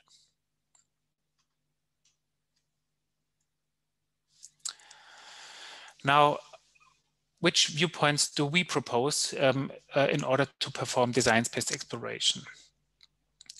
So um, we have been involved in, in, in, a number of projects uh, where um, exactly this um, question has been uh, investigated in depth.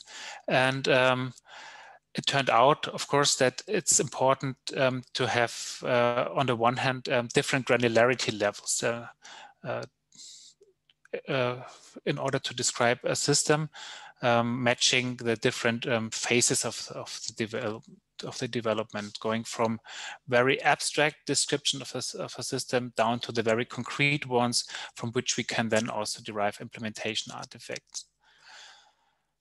But on the other hand, it's also important that we can that we distinguish the different viewpoints um, from which to look um, at a system.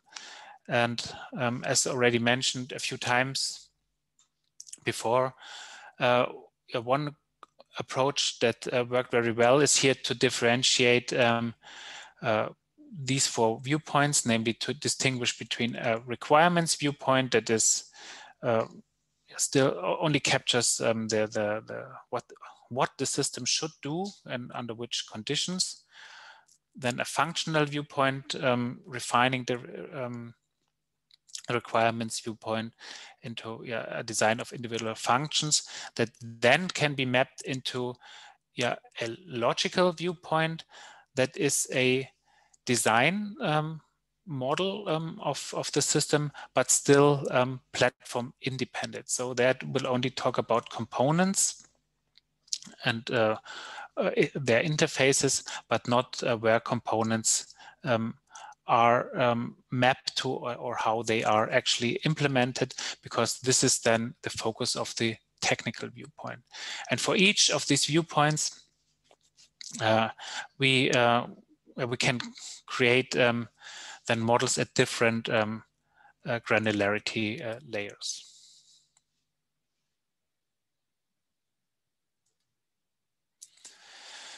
So now I will give you some uh, overview about um, two of these viewpoints that we will uh, then also use uh, in uh, later and and the, and the demo um, that that I will show.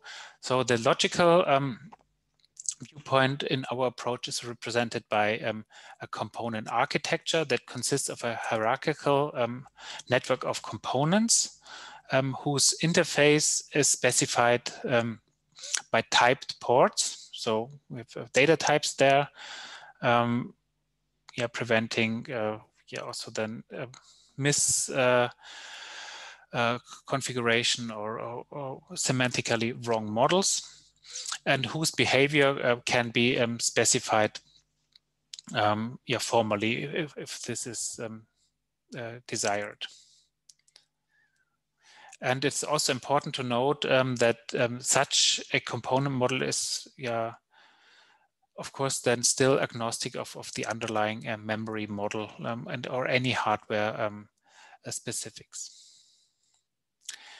Um, the platform architecture um, is represented also by a hierarchical model where we distinguish yeah, three levels. Um, the first level is um, the, the node level, uh, where a node represents um, a dedicated um, computer, so an, an ECU, um, electronic control unit, if you uh, would like to call it in, in automotive terms.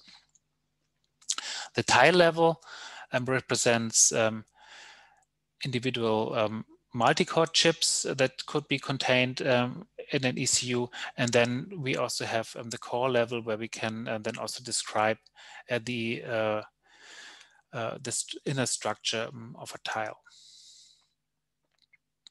And uh, having such a fine-grained model um, then is of course then the prerequisite um, to consider non-functional properties uh, such as safety because only if we know about um, the, um, for instance, the physical boundaries and default containment units uh, uh, created by, by ECUs, we can then use this yeah, to reason about, um, uh, for instance, separation constraints. The second part um, um, of the technical architecture are the task and the partition architecture.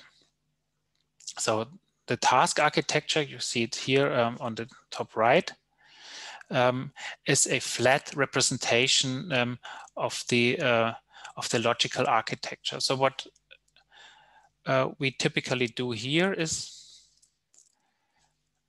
we have here a hierarchical network of components and in the simplest case, we can just flatten um, such um, uh, a component architecture and derive a task graph um, that is not hierarchical, but that still captures all the, um, the data dependencies between um, the components.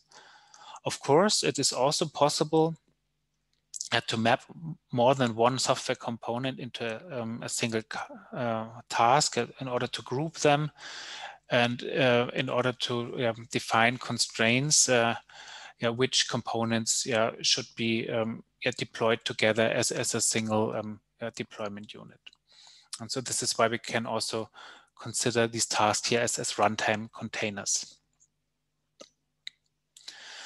And um, the second um, artifact here is the partition architecture that is a yeah, vendor independent um, representation of um, um, space time space partitions um, that uh, yeah we can then use yeah to cluster tasks and uh, to have additional assumptions um, on their um, on their segregations. So we consider here both uh, the partitions themselves that, that can host um, different tasks and also um, memory areas that can be provided by a hypervisor by virtualizing the, uh, the physical memory uh, of the system.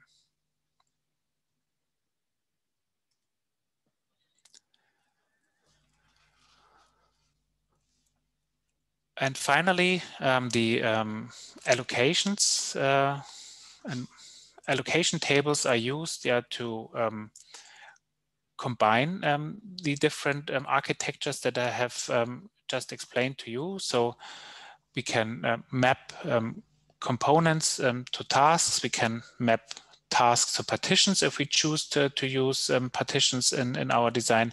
And ultimately, we can then um, map partitions to the uh, to hardware units, or if we uh, would skip the partition level, we would, could also directly map tasks uh, to the underlying uh, hardware. So the final um, input in our models um, are uh, annotations, um, and these are yeah properties that we can um, attach uh, to arbitrary um, model elements. So from um, the tooling perspective, it's important that yeah this is yeah can be done uh, in an extensible way. So um, it's rather easy yeah, to provide additional properties yeah, to each of, of the model elements, such as, for instance, the worst case um, execution time uh, for a task, as we heard before, or um, sizes um, of memories, or also costs um, uh, that would be then uh, relevant during an um, automated exploration of different um, uh, alternative designs.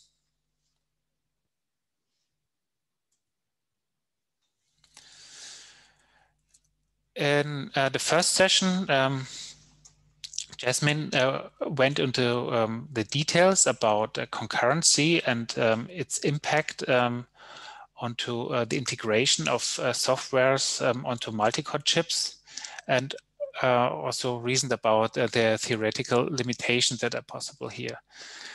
Of course, if we're doing um, design-space exploration on such a so in early phases of the development, it's important yeah, to have uh, a coarser grained abstraction in order to allow for fast uh, um, computation of the different alternatives.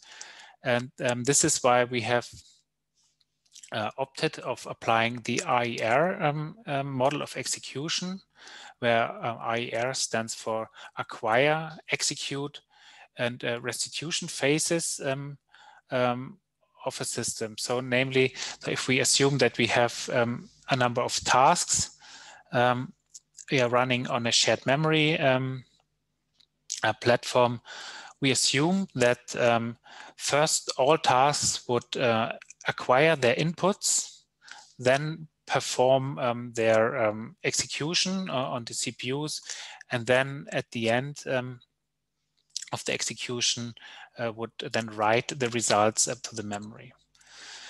So why is it uh, reasonable uh, to to use this rather um, uh, big assumption in the system?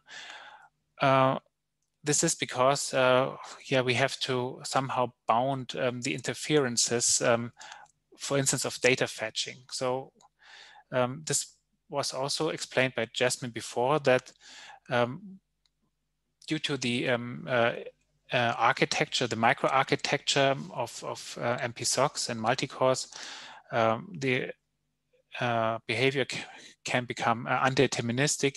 And so in order to um, uh, obtain good um, exploration results, we need to uh, make um, this assumption here.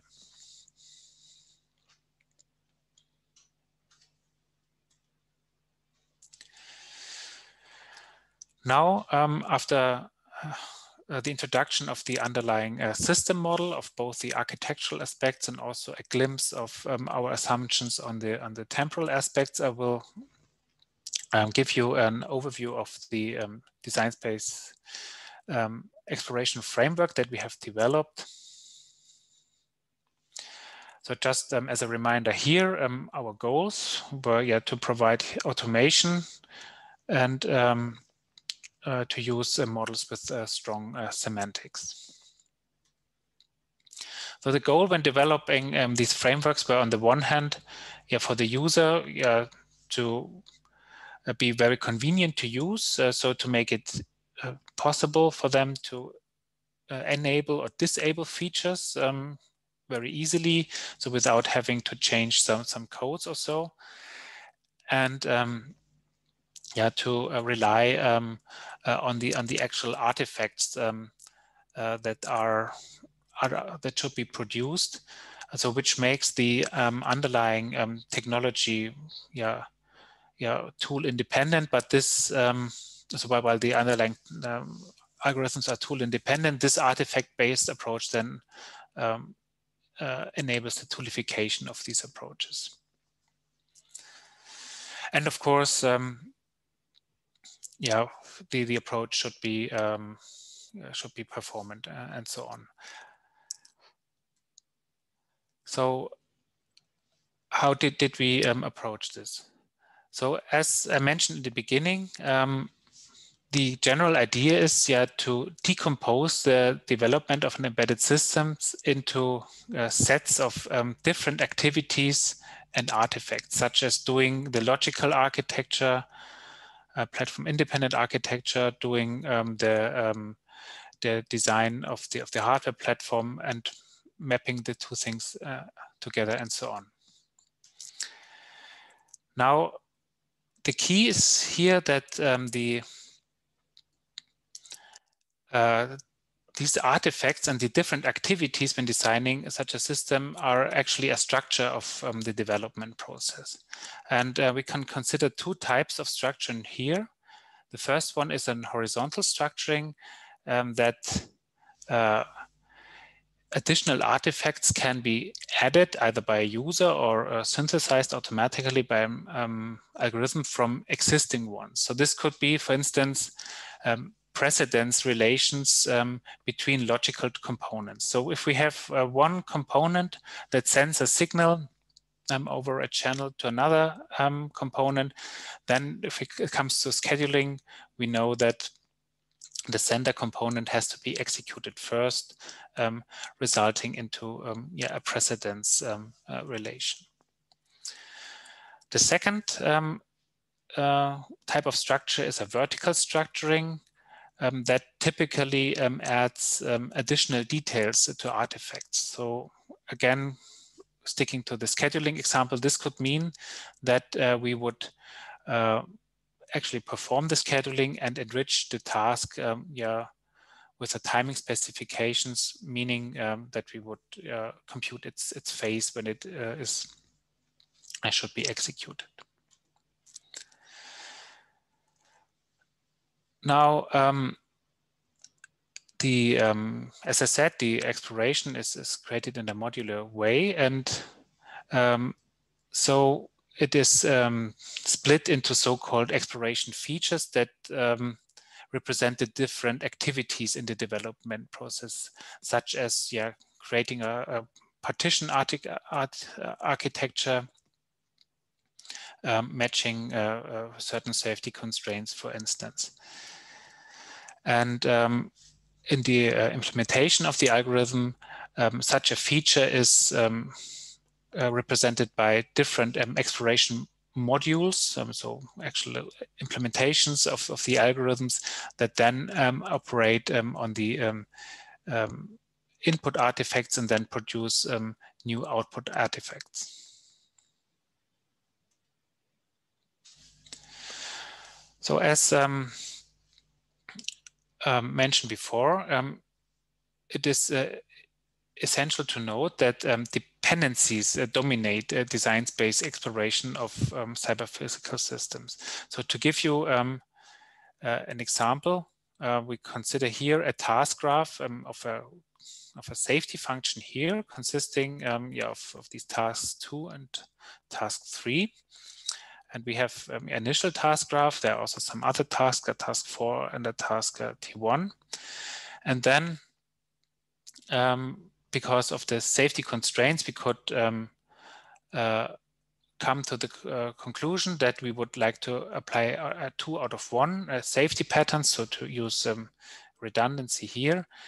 And uh, so um, in our approach, this unrolling of the task graph uh, would be performed uh, first. So we would uh, then introduce this um, clone um, of, of this of this safety function here, and then um, only in the next step then do the mapping um, of these uh, two um, redundant copies of this task graph um, to the underlying execution units, and typically there would be then also a separation constraint uh, forcing these two replicas um, to different um, parts um, um, of the platform and uh, while other parts then also could be um, shared and with the same execution unit. And um, this is yeah a general um, or an example that also generalizes to the approach, namely that uh, the way the design space exploration is implemented is that the different features um, of the um, design space exploration, such as the task graph exploration or the exploration of the deployment, yeah, is uh, decomposed and can also then trace the different dependencies, um, as I explained. However, um, this is of course um, uh, not not not an easy problem because um, state of the art um, methods yeah uh, do not really um, allow this. So if we consider um, a master problem that yeah, specifies um, the entire exploration task, such as um, exploring the task architecture, partition architecture, and the and uh, and the platform architecture, this would mean that from this master problem, we would um, yeah, delegate to the different sub-problems in, in the first step.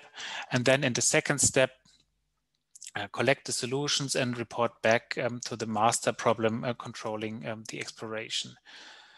Um, of course, if we see that we produce um, contradicting uh, solutions here or that some of the sub-problems uh, are infeasible, um, it is intuitively um, imaginable that um, such an approach is uh, uh, inconsistent and does also not yeah, consider that these problems here are actually coupled. So, because if I um, clone some parts of the software functionality, uh, also typically uh, additional hardware resources are required.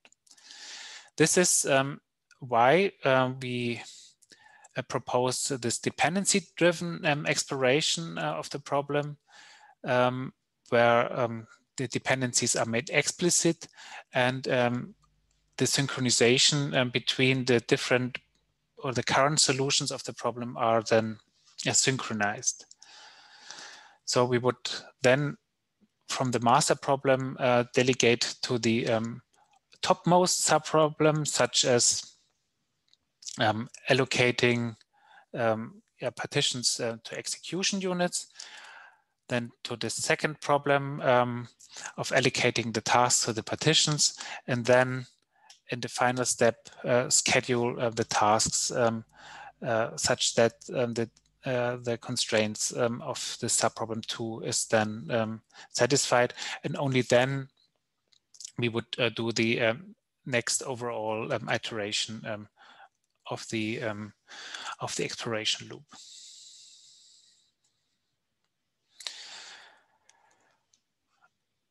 The exploration feature graph um, provides um, an overview or, or specifies uh, how uh, the dependencies of the different um, available explorations are structured. So all in all, um, uh, we have implemented uh, six, uh, so currently implemented six different um, um, exploration features, such as the exploration of safety function architectures, um, a dedicated module to explore, explore design diversity, so to use different um, implementations of uh, safety critical components to provide uh, additional safety arguments. Then there's a hardware platform um, architecture exploration, allowing to um, uh, select the uh, optimal number of um, uh, hardware resources, so ECUs, for instance, then to synthesize partition architectures. And uh, then while these two um, streams can be done uh, independent, they both um, have to be performed before then the actual mapping of the tasks um, to the platform is performed. So here we would also consider the possible replication of tasks. And uh, only after the tasks have been fully um, determined, then the scheduling uh, can be performed. And, and in our framework, not all of these features have been used um, in every scenario, but um, the user can uh, decide which features to, to turn on or off and um, uh, just uh, use um, those that are appropriate. So on this slide, um, a, a, few more details on exploration uh, modules um, are shown. So an exploration module um, is part of the implementation of a, an exploration feature. So um, it has uh, the input artifacts that are required. And then there's the actual algorithm performing the exploration and then also output artifacts um, are um, produced. And um, the nice thing is that in the framework um, implementation, this is also directly um, uh, reflected. So this is uh, on the one hand based on uh, on Google Guice um, uh, that uh, we use yeah, to um, trace that the dependencies between the different uh, exploration features. And so um, Guice um, yeah, determines the execution order of the different exploration modules. So um, with a look at the time, I will maybe speed up on this slide and just uh, mention that um, the uh, architectural exploration is based um, on a um, uh, evolutionary approach where we um, start with the initial um, population and encoding of the problem, and then um, operators are applied. And in order to rate uh, good candidates, um, these are uh, typically then they are decoded, and um, then an evaluation is performed in order to determine uh, the fitness of the current um, uh, solution candidates, and uh, then the, the, best ones um, are are selected. And as mentioned before, yeah, this is not um, done in one stage, but since we have uh, these different exploration modules, and the exploration is done in several um, uh, stages where the same principle um, is then um, applied. So for instance, if we start um, with the um, exploration of the partition architecture, a partition set is created. The, the operators determining the, the partitions are working on this partition set. And then um, these intermediate results are then yeah, passed to the next stages, um, uh, for instance, to do the, um, uh, the task um, uh, exploration uh, and so on.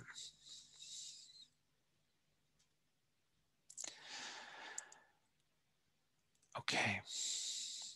Then um, I will skip these slides about the available DSE features. I've already mentioned them uh, in the previous slide. And um, now I will switch over for a brief um, demonstration um, of um, our approach um, that is implemented in the autofocus 3 tool. Just give you one overview slide here about autofocus. So it's an open source tool and a research platform based on on the on Eclipse. You find um, also the download link um, here if you're interested. And yeah, in uh, the model-based systems engineering group in fortiss, we use this as the um, um, uh, as the focal point of our um, research on, on model-based um, systems engineering. So, but now I will um, switch to the tool. Where you can uh, now see um, a model that I have already um, loaded. So this is an example of an automatic um, cruise control. And on the left-hand side, you can uh, see um, models representing the different viewpoints, as I have explained before. So we have here a logical viewpoint. Um, representing the different um, uh, components. So we have an adaptive cruise control, and we are combining this here with uh, also an entertainment function. As you see, um, also this model is here is hierarchical. And um, in, in this example, we have also uh, provided um, then also uh, an uh, model-based specification of the behavior um, of the system. So there are either um, code specifications um, that uh, provide the implementation in a more code-based way, but there are also um, state automata that can be used um, to perform the the specification of, of the behavior of the system. The second part of the, or the second uh, input model is the platform architecture. so in this case, uh, we have here a um, hierarchical model um, of one ECU uh, called node and in this um, nomenclature uh, with just a single tile, just a single multi-core, and that in this simple example just um, features two different cores that are connected um, by a shared bus. And as mentioned before, there's an allocation table um, that yeah, maps the different uh, views uh, onto the system. So one is here uh, a mapping of the um, logical architecture to the task architecture. So which I can also show. So this is here an um, a flat representation of, of the component architecture. And that in this simple case is just a one-to-one -one, um, mapping. Um, so for each logical component, and, uh, and uh, logical architecture, a dedicated task has been uh, created. And in this table, we have specified then yeah, a mapping um, of uh, tasks uh, to components. Moreover, more, moreover, the task architecture also provides um, additional um, information such as um, uh, the assumed worst case execution time of these tasks. So we take this as an input um, to our experiments. So these are uh, random values and for two of the tasks, I yeah, uh, added uh, or changed them to be a bit larger so we can then um, easy, more easily identify them in, in the resulting schedule. And Another input, part of the input is then also timing um, specification where we can uh, provide um, constraints um, on different, um, in two different ways. One is event constraints. Uh, so when uh, events are specify when different things or which different things can happen in, in the system, such as a signal is received, signal um, is sent by a task or a task is started or a task is ended, for instance.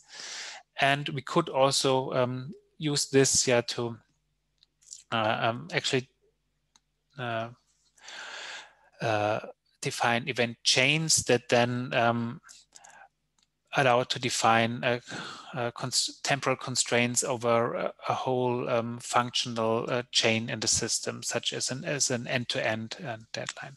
So you can also see this concept, for instance, in, in AUTOSAR, where this has been proposed um, as an AUTOSAR uh, TIMEX um, extension.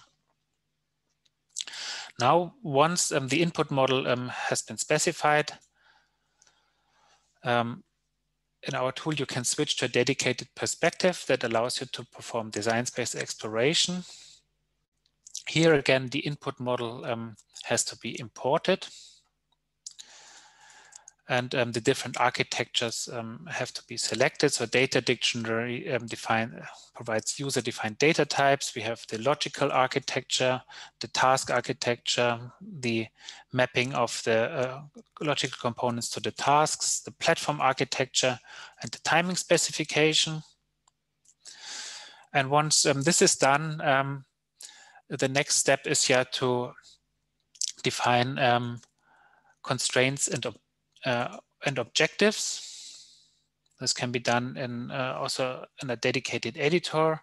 So for instance, we can use here some patterns such as saying that, for instance, the speed plausibilization task has to be allocated um, to core one and that um, the entertainment um, task has to be um, allocated uh, to core two. Of course, there are also um, other ways uh, to specify constraints such as function coupling, meaning that um, two tasks have to go together onto the same execution unit or decoupling that they shouldn't be.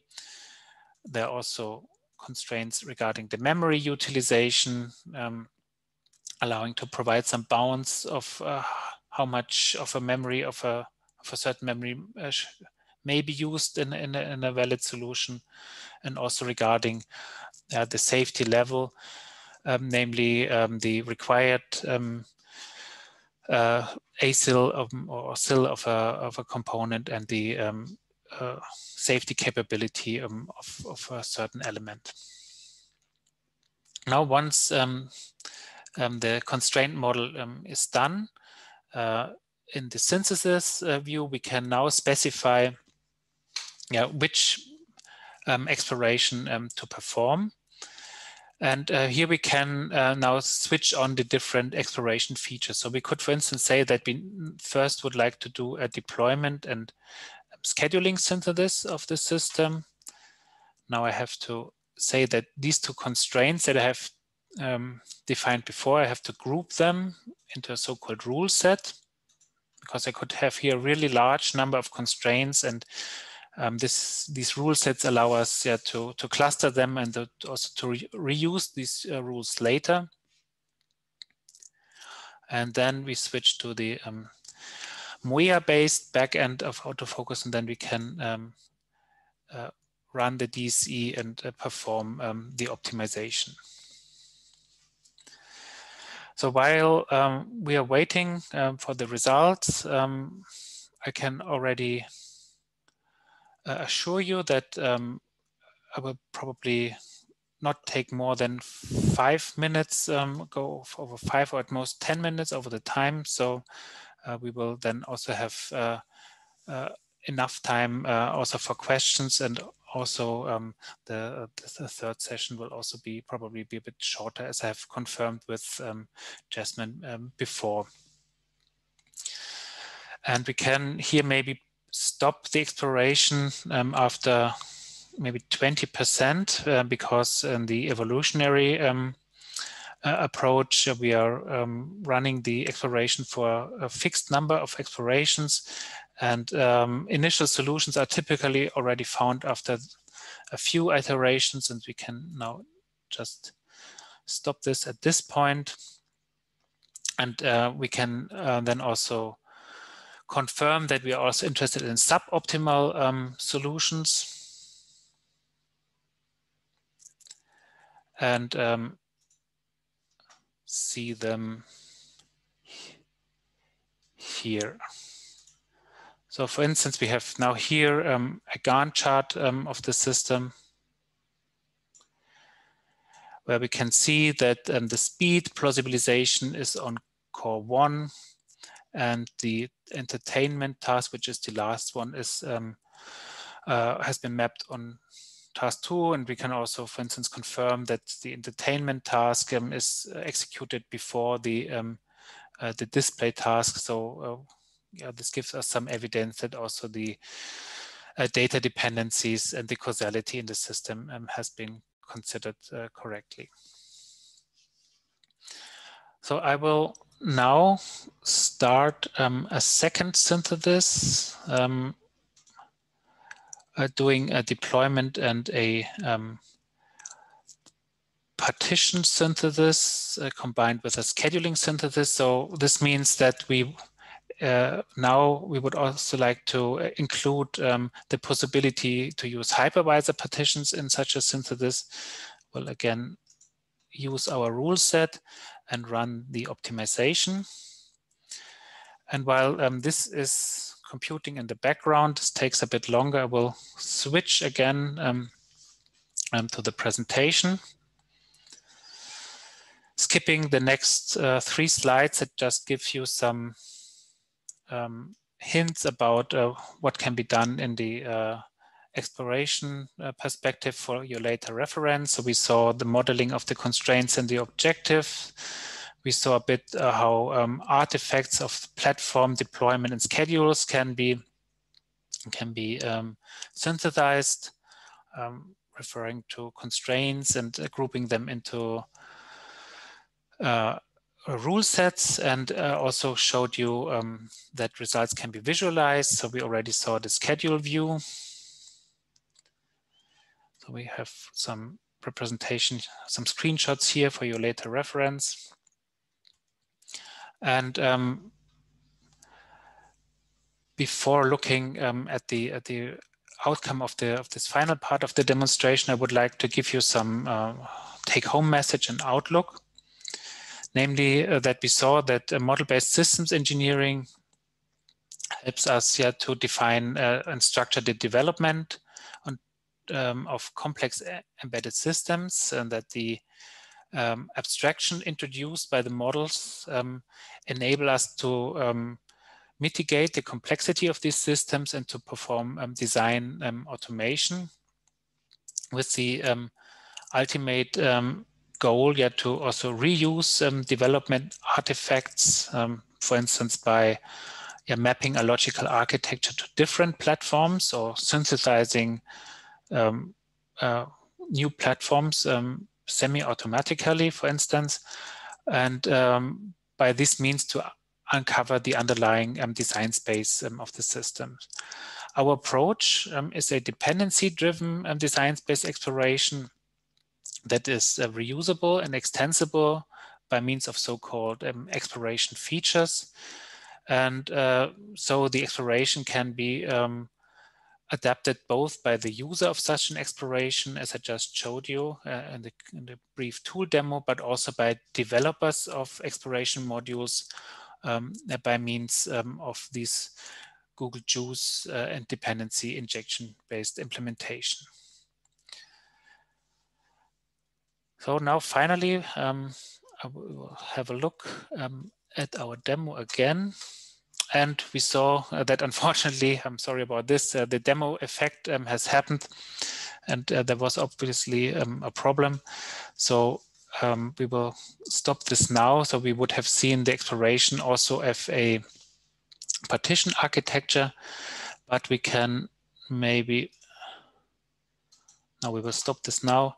Uh, we would also have seen that the um, um, resulting um, uh, artifacts can also be then exported again and then also be um, yeah, used in, in, in, the further development. So we would have exported the partition architecture into the model navigator and then the engineer could have taken up from there uh, manually. So this brings me um, to the end of my presentation and um, uh, I'm happy here to about your questions or comments um, that you might have. Okay, the uh, first question is the, if there's a tutorial um, on autofocus. Um, there I would refer you um, uh, to um, the autofocus homepage where there's a, uh, on the one hand, a, a large user manual that also provides examples. And there's also a section with uh, video-based tutorials also on, on our homepage. So you can uh, see it here uh, in this link. And you can also switch this uh, to English. Sorry, this is the, the German link.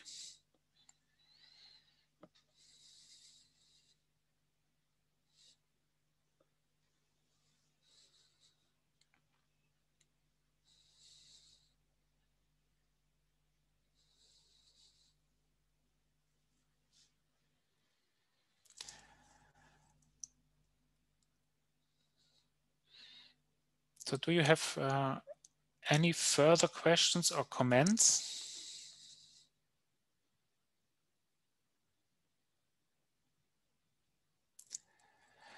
So in case, if this isn't the case, I would uh, point you at some references if you're interested uh, in, the other underlying um, technical details um, uh, of what I have presented. And then uh, hand over um, uh, to Jasmin again, uh, who will continue um, with the third session uh, then at 12 o'clock Central European time. Thank you for your interest in this presentation. Uh, can you hear me? Okay, great. Let me just try to share my screen.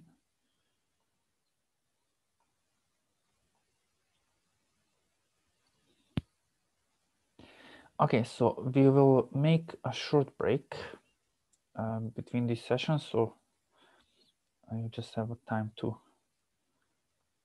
take a quick break and then uh, we will continue in 12.05.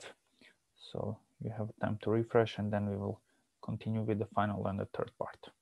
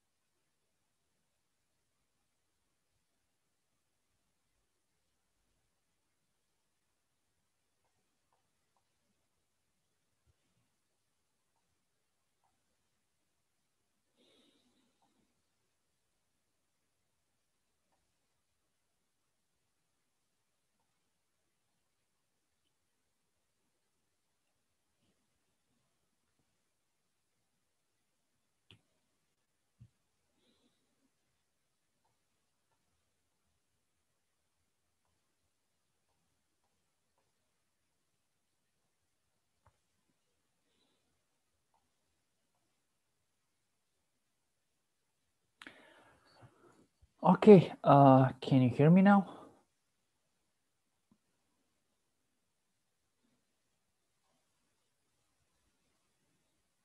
If you could just write in the chat if you can hear me now.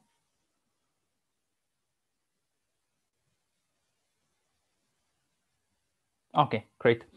Uh, so welcome to the third part. I hope you can see my screen now or also in the, the full screen. If you can confirm that as well, that you can see the full screen. Okay, great. So that's great. And now I think we have avoid that annoying overlapping screen.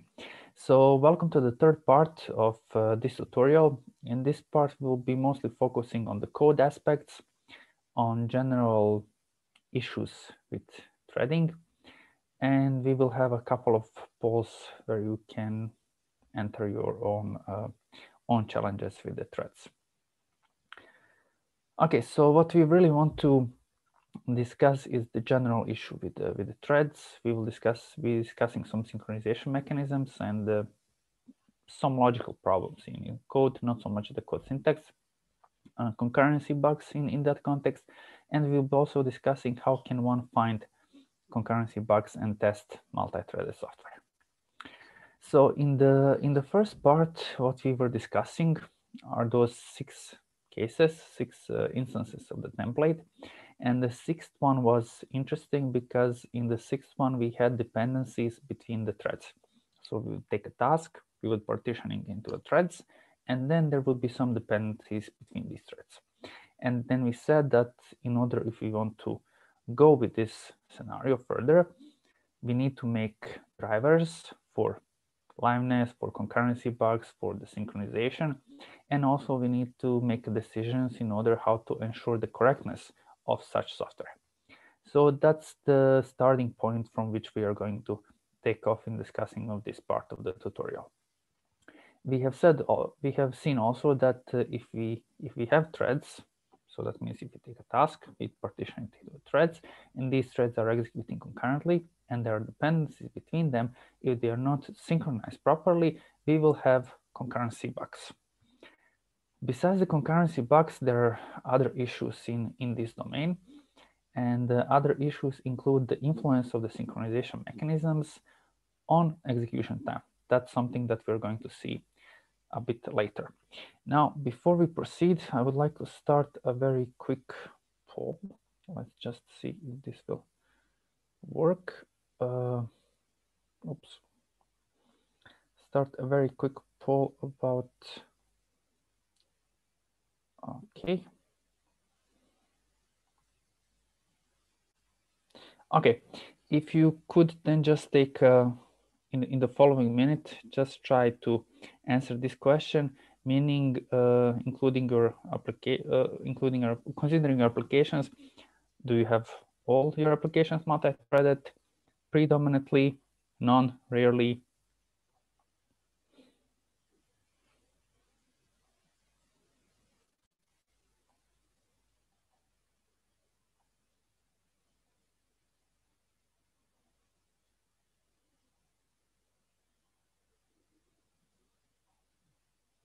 Twenty more seconds to go.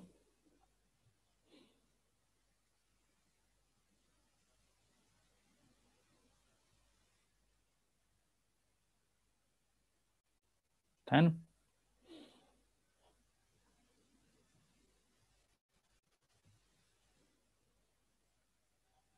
Okay, great. Uh, just before I proceed with explaining, uh, discussing the results of the poll, uh, just a question. Can you see the results of the poll on, on my screen?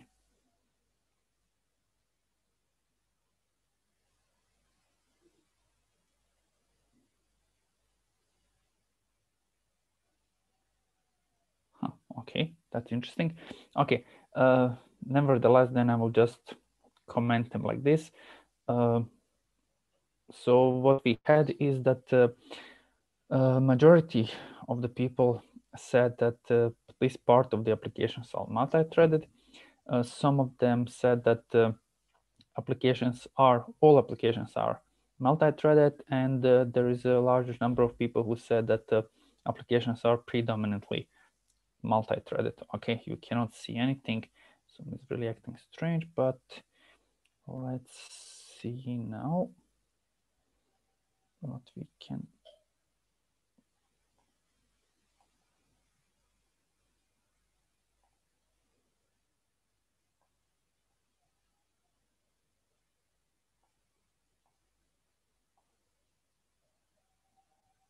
Okay. Uh, I hope now it's better. You can see the presentation. Uh, just four persons, so that means 70% said that they never work with uh, multi-thread applications and 13% uh, said that they are working rarely with the multi-thread applications. I hope these results will be later available so we can share them. Okay. Okay, that's Mm, can you see them now, the results?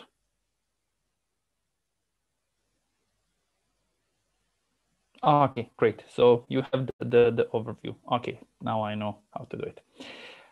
Okay, then let's uh, let's proceed. So you you have the the impression that most of the people are working or using multi-thread applications in, in, in their software. That's good. So let's remove this. Okay. So general, what is really the, the issue with the thread? So why not everyone are just by default using all the multi-threaded applications? So why are we not by default using this potential of hardware in terms of the concurrent processing? Well, in 2006, so just around the time of the Dennard of the break of the Dennard scaling, there was a paper by Edward Lee. It's called "The Problem with Threads." So Edward Lee among other things, he discusses and uh, argues that the hum human beings execute actions concurrently. So we are inherently doing something concurrently. So I'm talking and uh, looking currently at, at my slides and following the chat. Uh, you perhaps uh, looking at the slides and hopefully not doing too much other things in parallel. But the point is we are as human beings used to to the concurrency. So how come that we cannot handle this concurrency in the multi-threading? Because obviously it's not so widely adopted and we're still struggling with. And his arg uh, uh, argument was that um, I will just read the quote. So they, the, the, the threads, discard the most essential and uh, appealing properties of sequential computation: understandability, predictability, and non-determinism and, and determinism. And also he says uh, non-determinism should be explicitly introduced where needed rather than removed where not needed. So what were the uh, original thoughts behind uh, this, these conclusions? Uh, he said the following. So let's say that there are two programs, P and P prime, and they are executing the same functionality. So if we have the same initial states, uh, for such initial states, the final states of these two programs will be the same. So something that we would expect. And these two programs are sequential. Now let's take two programs, P1 and P2, and they execute concurrently. And let's take uh, their other instances, P1 prime and P2 prime, where P1 prime executes the same functionality as P1 and P2 prime executes the same functionality as the uh, P2. And let's execute them. Uh, in which case are they equivalent. They are equivalent if they have this, so that means they will end up in the in the same uh, state. Well, for, in order to compare the, the the equivalence between these two, they need to have the same initial states. It's also necessary to reason about all possible interleavings and not only about all possible interleavings of their operations, because we saw that interleavings of the operations are critical. We saw the example of the concurrency bug. So they both had the same input state, but just the interleaving of the operations led to the bug. There is also a bonus. So not only that we need to know about these two programs or threads, we also need to know about all the other threads which are running concurrently with them. So in terms of the complexity, the number of the possible interleavings is on 2 on power of n multiplied with i, where n is the number of threads and the i is the number uh, total number of the instructions. So this is really exponential complexity and uh, we, we have a problem dealing, dealing with this. So that's one of the problems of threads that was discussed in 2006. Now, from the architectural point of view, what we usually try to do is to capture good architecture practices and bad architectural practices. Good architectural practices usually call patterns. so patterns of the design that we notice during the design that they're useful for sol solving certain, for example, quality issues. And we try to document them and reuse them when the problem occurs in the same context. Anti-patterns or so-called bad smells, sometimes also called as a technical, technical debt, are usually something that we are trying to avoid. And um, there is an excellent paper about determining what is actually pattern and anti-pattern in your organization.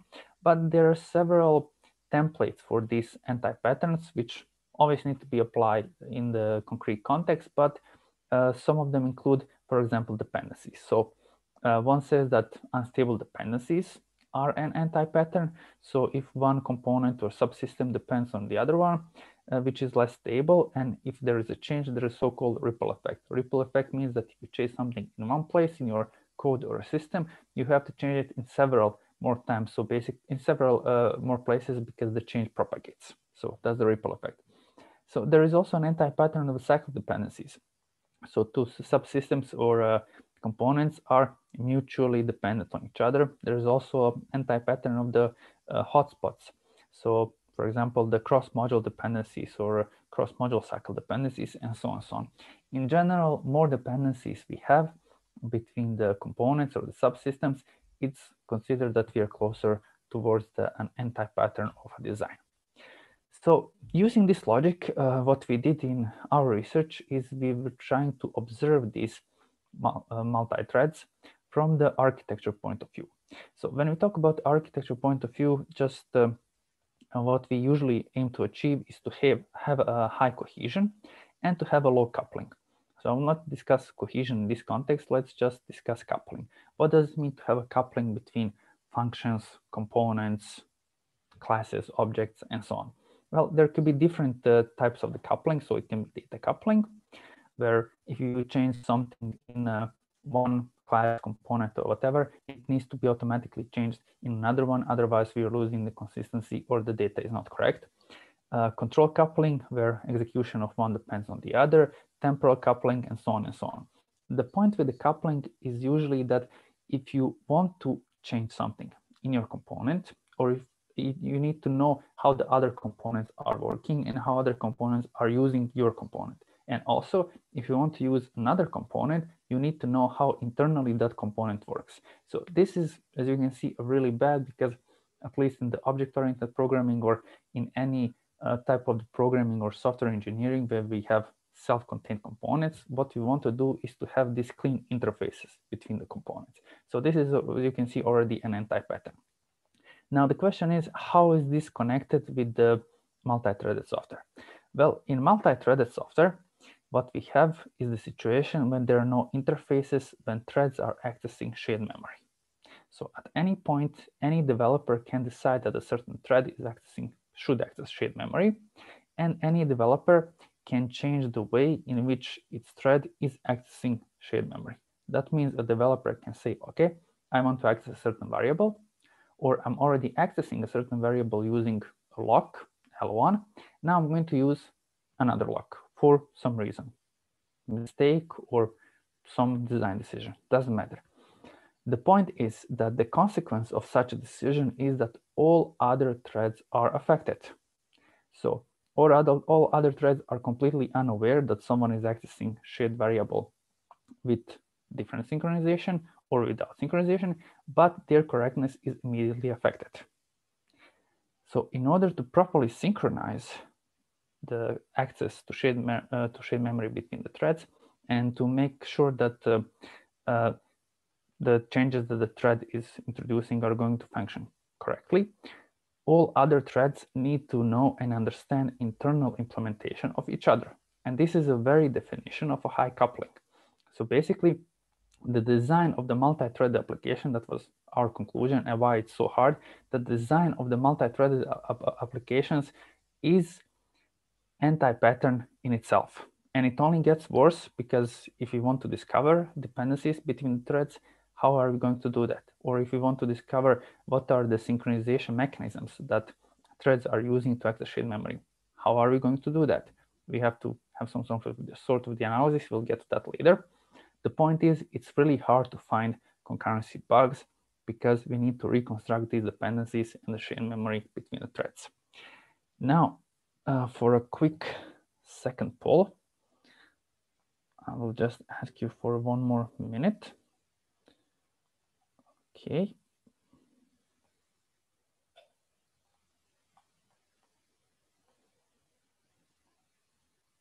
Okay, I hope you can see now the, the poll on the screen.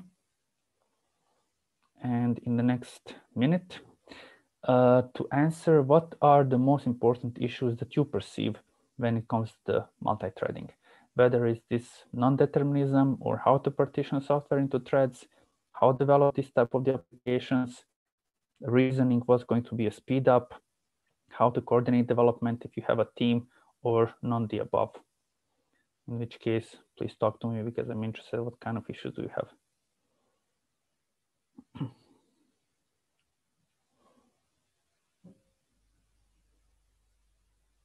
Okay, 20 seconds to go.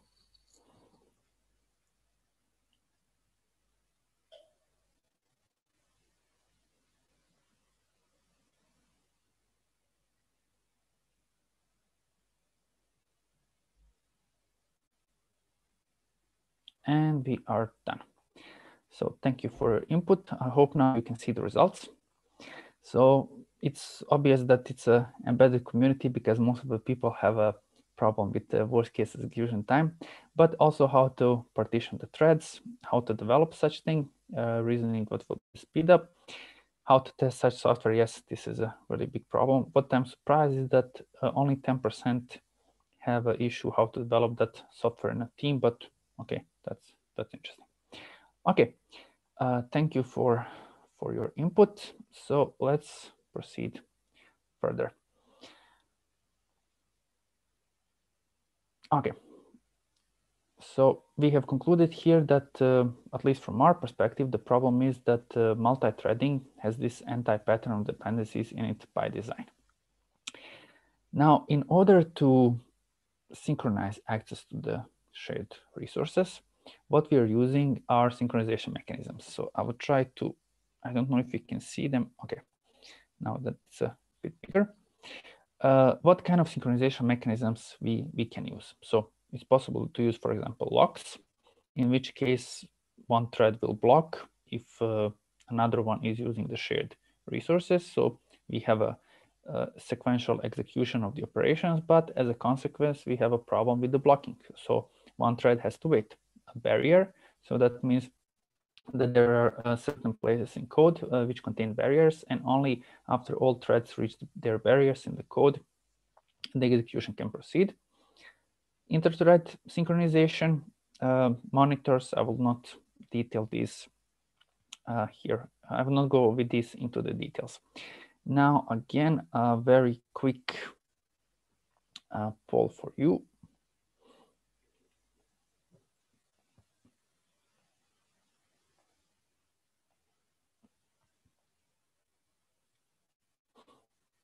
So what kind of synchronization mechanisms you usually use? So again, we have one minute.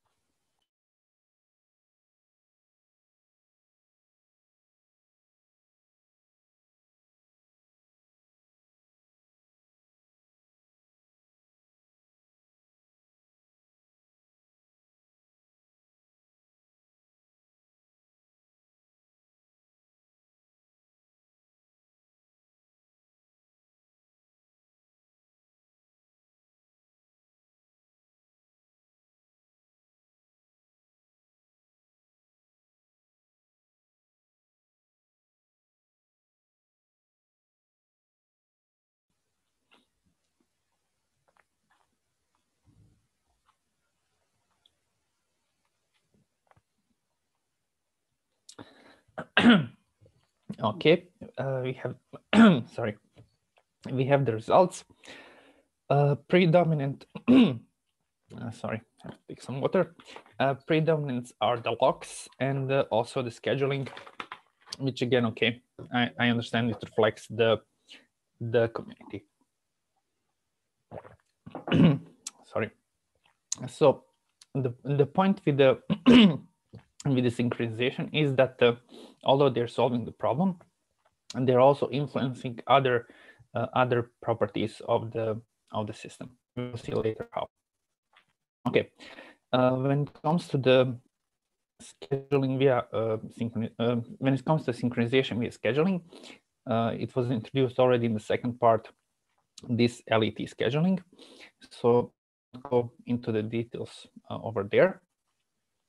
Uh, so the point is that uh, each thread has a certain time uh, for which is predicted is going to execute. And if it executes before that, it, that time will be wasted. So we have some sort of the underutilization, but it gives a certain guarantee in terms of how much time a certain thread will take to execute. So it's possible to create synchronization by using these times. What is more important is that uh, besides this blocking synchronization and locks, there is also non-blocking synchronization. Now, this is a very tempting uh, way for synchronization because it removes this idea of the non-determinism source that the blocking synchronization introduces. Because if there are blocks and if there are, for example, barriers or anything which is blocking the execution, we have additional source of the non-determinism in our system. Non-blocking synchronization, synchronization removes this by usually using these operations, uh, which, which are there to uh, make sure that they execute in a single cycle and using them and using a complex data structure, it's possible to create non-blocking synchronization. However, this, not, this does not come without the issues. So we have uh, did certain uh, number of experiments. I hope now you can see this. Okay. Okay. So uh, here we have a, two very simple examples, uh, multiple producer, multiple consumer, and single producer, single consumer. And we have used uh, synchronization mechanisms from uh, Boost library and uh, from the STD, which is the, mute, the mutex. So quite interesting results, very simple examples. Uh, you can find the code here, and you can find the, the results of the whole paper here. But the point is, and that in one case, the uh, lock-based synchronization was able to out outperform the lock-free synchronization, where in the case of the single producer, single consumer, lock-based synchronization was slower than the lock-free synchronization. So it really depends on the use case scenario uh, where we are using synchronization. So what kind of pattern threads have when it comes to the accessing to the shared memory. So although it avoids uh, important aspect of uh, blocking each uh, each other, blocking other threads, it can also have a disadvantage, the lock-free synchronization, that it's sometimes slower than the lock-based synchronization. Okay, now when it comes to the concurrency bugs, we have already uh, seen the most simple concurrency bugs, which is the data race. Besides the data race, there are unfortunately many other types of concurrency bugs, and one of them are called atomicity violations. So I will try to illustrate this atomicity violation uh, on an example. Here we have an example, two threads. They are executing some operations. They are executing operations on a shared object called object. So one thread creates an object and after some time it wants to call a method on it. All accesses are properly synchronized. In the, in the between, uh, another thread is initializing this object with a new value. So it's initializing it with the value null. So once this second, uh, once this first thread calls a method, we will have a null pointer exception. So if we consider it from the data race point of view, there are no data races here because all accesses are synchronized. However, the issue here is the atomicity violation assumption. So whoever programmed this first part has assumed that no other operation, no other critical operation, which could introduce a bug, will happen between these two locks. What would have to happen in order to have this code uh, properly synchronized, we would have to have lock starting here and ending here. But uh, this is something that uh, would be properly to do, but in this case, what we had is a wrong assumption about the atomicity. So that's another type of the of the concurrency bugs. Uh, other type of the concurrency bugs, I would not like to go into the details. They're usually related to the synchronization mechanisms which are used. So for example, if we have improper use of the synchronization mechanisms, then we might have a bug such as uh, such as data locks. such as the deadlock, sorry.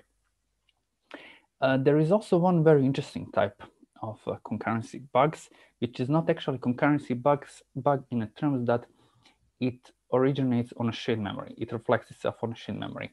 It's a type of the bug that originates because of the shared memory. So let's observe this example here. Uh, thread one and thread two, they execute. They're accessing a shared variable A. And in the first case, the thread says, okay, if A is not equal to 10, then B is 9. And after some time, this thread says, okay, if A is equal to 10, then C is equal 1 divided B minus 9. So if we just observe this thread, the situation where B is equal to 9 and this is executed would never happen because if this that would be the case, then we would have division by zero, which is a bug. So from this perspective, it's either this or this code which will execute. However, if we have another thread which is changing a shared variable, and then a condition depends on that shared variable, this execution where both cases are executed is actually possible. So we do not have explicitly incorrect results in the shared memory. We have correct results in the shared memory. We just have a path that no one considered before until the concurrent execution. So that's a big, that's also one big problem with the, with the concurrency bugs. Again, a very short poll for you when it comes to the concurrency bugs. So what I'm interested in is to understanding uh, what kind of concurrency bugs did you face so far in your in your development life or testing life? I hope you can now see the, the questions.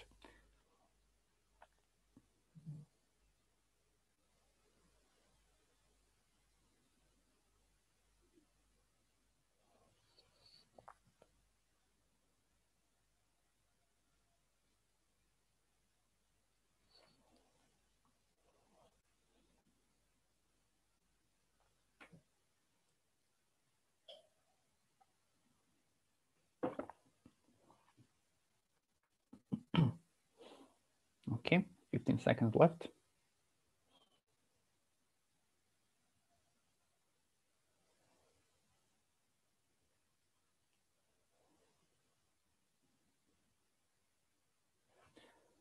And we are done.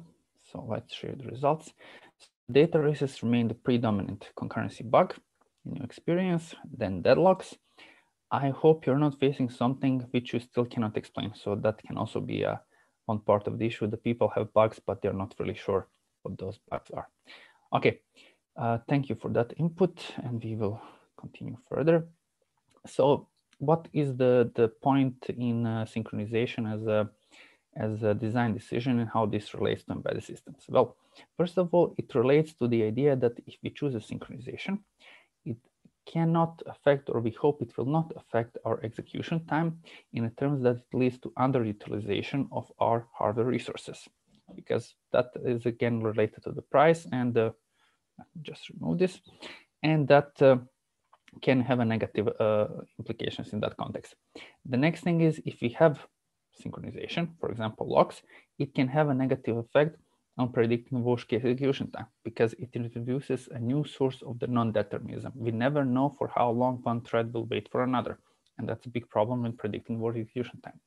But most of all, how to find concurrency bugs. So how to find the places where threads are accessing shared memory, but they are not using synchronization mechanisms, or they're using synchronization mechanisms in an improper way, leading to bugs such as such as deadlocks. So this is really a big question. And the problem is that the execution of the threads, as we have seen, is non-deterministic in terms of their progress. So we never know which operations will overlap. So reproducing certain bugs and their behavior, it's really hard. So how do we find concurrency bugs? Well, what we are actually looking for is the violation of these assumptions about the atomicity. In the finer grade terms, we need to find the memory which is shared between the threads, what kind of synchronization mechanisms they're using, and we somehow have to guess what are developers' intention. In that context, there are several approaches to go with this problem. Static analysis. Static analysis is great because it can potentially find old bugs that exist in our code. The drawbacks of the static analysis are usually scalability, so it doesn't scale with big, pro big problems, and sometimes it reports too many false positives. That means false warnings, in which case people spend more time trying to reason whether a reported bug is indeed a bug or reported bug is a false positive. Then they, uh, then they spend by fixing the real bugs. Another approach is dynamic analysis. That usually means there is a software, it's executed, we trace execution of the software. That, mean to, that means to which memory location which thread is accessing and what kind of shared, uh, what kind of synchronization mechanisms that thread is using. And then on that execution trace, we apply some algorithm. There are several, of them, and then try to reason with whether there has been a concurrency bug or not. Uh, we can also rely on the regular testing. And that means uh, execute, for example, unit tests uh, of, of several threads and try to see whether the result is incorrect. But the problem is usually what we can do here is to change the input data. Sometimes maybe try to introduce some delays. Uh, even if you find a bug, it's really hard to reproduce them. And the model checking, model checking basically means creating the whole the model of a system, running a checker on top of it, and uh, finding which invariants about the system do not hold. Very good because it can find the uh, counter examples, but often has a problem with the, with the scalability. So in our context, we will just be discussing briefly the idea of the dynamic monitoring or the dynamic analysis. So in order to actually apply this approach, it's much more complex than uh, just this diagram. So what do we actually need in the case of the uh, dynamic analysis? We need to select the test cases. We need to run those test cases on our software we need to uh, trace the execution of our software and get the execution trace back. On that execution trace, we need to apply an algorithm for finding concurrency bugs. And that algorithm needs to consider the following. It needs to consider the modulus of different concurrency bugs. So I hope you can see it now. Yeah, okay. It needs to consider different modulus of the synchronization primitives. It needs to try and consider synchronization intentions of developers. If possible, it should also quantify the coverage. So we know how much did we test because analysis, static analysis is about proving the absence of the bugs and the testing is about finding the bugs or proving the presence of the bugs in our software. So what we need in the end is some report of concurrency bugs and for what portion of the code that report is valid. So that means quantification of the, of the coverage. Okay, so when it comes to any tool that is trying to find concurrency bugs, there are three parameters which are important for the end users. And those are precision of that tool, performance of that tool, how long does it take, how much memory does it take, and so on, and the coverage. So that means how uh, quantification, how much of the uh, software did that um, tool cover. So we'll be mostly discussing the, the precision in that case. So if we have any tool which is trying to find concurrency bugs, which is based on dynamic analysis. Here are the important parameters of the precision. First of all, these are false positives and false negatives. False positives are false warnings. False negatives are bugs which exist in our software, but the tool was not able to recognize them. And these primarily depend on the test cases. So if a test case is not able to exercise certain execution path, then all the bugs on that path will not be detected by a tool. It's also depending on the execution tracing. Some execution tracing techniques are changing dynamic behavior of the software under test. So they can either introduce a new bugs, which do not exist really in the original software, or what they can also do is to mask some of the bugs. That means that the analysis will not be able to get the execution trace which matches the original software under test. Uh, when it comes to the coverage, coverage also depends on the test cases which are executed, and it also depends on the execution tracing because, uh, again, some of the paths, because of the tracing, might not be executed as they would be originally executed. And it also depends on the extracting of the static software structure because when we execute software and we get execution trace, we need to compare it against something to see what percentage of that something, that means static structure is covered. Okay, now when it comes to the coverage, there are two questions that uh, needs to be answered. The first one is the coverage of the uh, of the control flow. So that means that in our software, we can have logical decisions which contain logical conditions which are related with logical operators. So for example, uh, this is a this is an example of logical condition, logical uh, operators and or and so on, and they all form a logical decision. I will not go into details what are the techniques for uh, coverage, but there are certain coverage coverage criteria which are quantified and if we are able to prove them with our tests, this it's generally considered that they sort of guarantee certain quality of software. Not 100% uh, sure, but it's generally accepted that they guarantee certain quality. So for example, statement that every statement is executed, coverage, a condition that every condition in code is uh, evaluated at least one to true and false, decision that uh, every condition in a decision is evaluated to true and false, and that the every decision is evaluated to true and false at least once. MCDC coverage, all of this, but also a combination of the conditions where it's shown that if we keep all conditions stable, so constant, and if we just take one condition and change it from true or false or from false to true, that it's shown that this single change changes the outcome of the whole decision. So plus those those quantifications. And there are relatively uh, few approaches which are trying to uh, reason how to quantify the coverage of our sequential code. The problem is what's happening with the interleavings. How can we claim what, how many interleavings did we cover? And when it comes to that, there are some approaches, but nothing really practical. Two of the most common approaches are that the approach is uh, either introducing some random delays in the execution and hoping to hit some critical interleaving, or that there is analysis. After the analysis, there is identification of the critical interleavings and then introducing delays in order to force them. Now, you have the number of the interleavings 2 on the power of n multiplied with i, number of threads is n, i is the number of the instructions. It's a huge design space and a huge test space. Okay, so um, one of the most used algorithms for finding concurrency bugs, it's so-called eraser lockset algorithm. I will just try to quickly summarize what does eraser trying to do. There are others, there's for example, there's for example algorithms based on happens before idea. So eraser analyzes set of the execution trace. And then for each memory access, it saves that memory access into a list of the all variables. For each uh, lock, so lock acquire, lock release, it updates a currently held lock set for each thread. How this algorithm works. So it analyzes this trace. When it finds a memory access, it goes into the list of the all variables. And if it finds that variable already in the list, it updates its its state according to this diagram that I will not, not explain.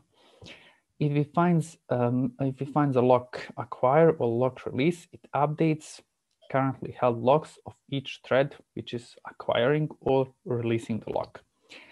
If it finds a memory access to a variable which is in the state shared or shared modified, then it's doing the following. It's making intersection between something which is called candidate set of each variable with the currently held locks of the thread which is accessing that variable. Now, currently held locks, I have explained whenever thread acquires a lock, it goes there. Whenever thread releases a lock, it's removed from that set. What is candidate set? Candidate set of the locks is set of all locks at the beginning which can exist in the system. And every variable which is in the state shared or shared modified at the beginning has candidate set equal to all locks which can exist in the system. On every access to the shared and shared modified variable, these two are intersected and the result of that intersection is saved here. If the result of the intersection is an empty set, that means there is a potential concurrency bug. Because what does it mean? it means that the thread is already uh, uh, uh, is either accessing a variable without using any lock. So its currently a locks set is empty. And then when there is intersection, that is also empty. Or that two threads have been accessing shared variable using different locks. So for example, using lock one and then intersection, that means that the new candidate set has lock one. And then thread two is using lock two. Then intersection between these two is an empty set. So that's how lockset algorithm is finding concurrency bugs. So just a short overview. I would recommend that you read original paper. Okay. Now back to the atomicity violation and the issues with that. So if we consider this, we have said that in this case, there is a bug, but from the perspective of the locking, everything seems to be working well. So if we would apply a lockset algorithm in its original state, lockset algorithm would conclude, okay, all accesses to the shared memory are properly synchronized. There is no issue. It gets even more complicated because this pattern and this pattern are the same. But in this case, this is really a proper synchronization. So at one point, thread is updating the account by removing certain amount and again by removing certain amount and here by adding some amount. So why not this works? There is a thread for uh, withdrawing money from your account. There is a thread for adding money to your account. Both are synchronized properly. This works quite well. So there is a quite a lot of research in this uh, atomicity violation, and here is one of the really good papers on this topic. I will not go into the details how to deal with this. Now, when it comes to um, lock and lock-based, lock-free and lock-based synchronization, there is another issue. So locking synchronization is bad because of the potential issues that it has with worst case execution time and in general with the underutilization of the hardware resources. But also the, we, the good part is that there are a lot of tools which are trying to find lock-based synchronization. Lock-free synchronization has potentially many benefits, but the issue is how do we find if so for example, our software is using lock-free synchronization. How do we find if that synchronization is implemented correctly? So we did some experiments. So we applied Helgrind tool and thread sanitizer. And regularly, when it comes to the lock-free synchronization, they were not in all cases, but in some cases, well, in most of the cases, they were uh, either reporting too many false positives. So this case, more than uh, 1,000 false positives, depending on uh, execution. So we, we run around 1,000 executions or in some cases, for example, Helgrind would simply crash uh, for some uh, uh, type of desynchronization because it could not handle them at all. So it's really hard if we have lock-free synchronization to find a tool which enables you to test this type of the software.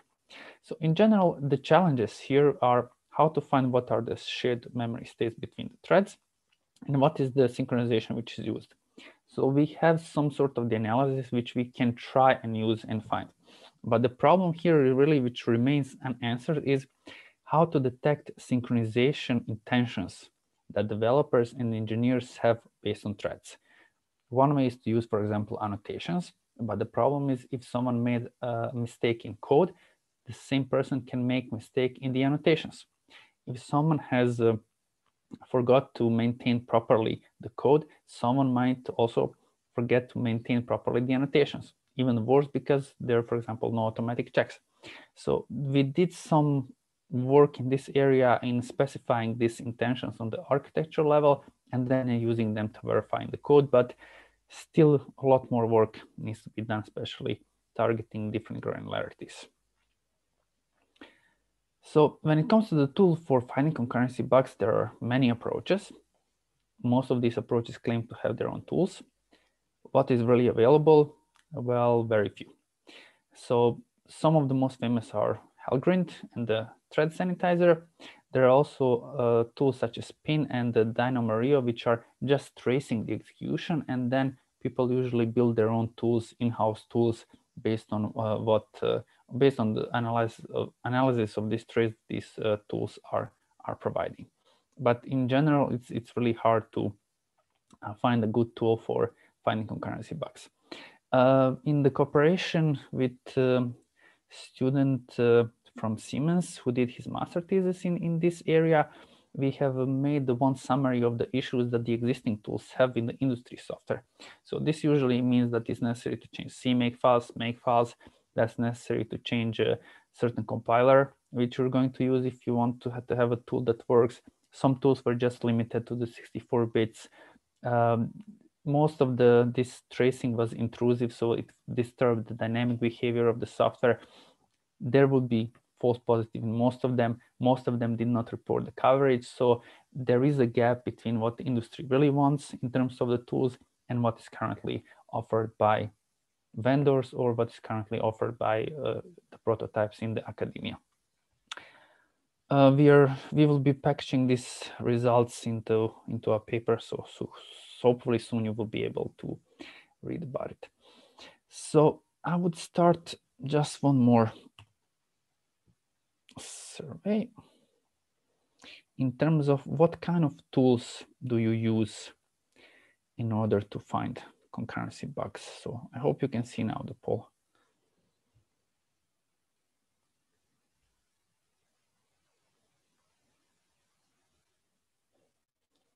Okay, we already have a lot of non-replies.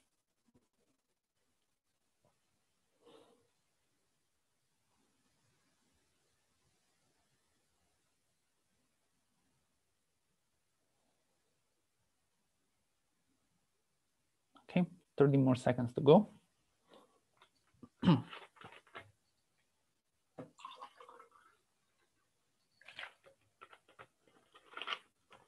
so far, the dominant answer is none. I will share with you.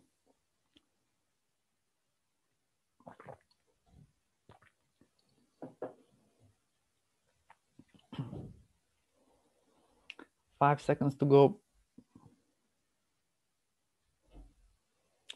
Okay, and we are done. So really interesting results, although these bugs can be really critical. And there were cases such as, for example, Therac 25, where concurrency bugs caused issues and uh, led to the loss of human lives. Most of the people, unfortunately, don't use any tool, and I completely understand that because there is really a lack of uh, good tools that can easily integrate into software development. But still, an interesting result. I hope you can uh, see the results now. Uh, something else. So Helgrind seems to be used. Thread Sanitizer, it's usually used by Google. I'm surprised that uh, it's not widely used. Uh, in-house tools, I would assume. Okay, quite quite interesting results. Thank you for for sharing that. So uh, this is just a quick overview of what we have been doing in this tutorial. So we started with the idea that uh, we want to use multi-cores and concurrency in order to fulfill some of our drivers, usually related to performance. From this, we have collected several additional supporting requirements and the drivers, and we, may, we try to make decisions for them.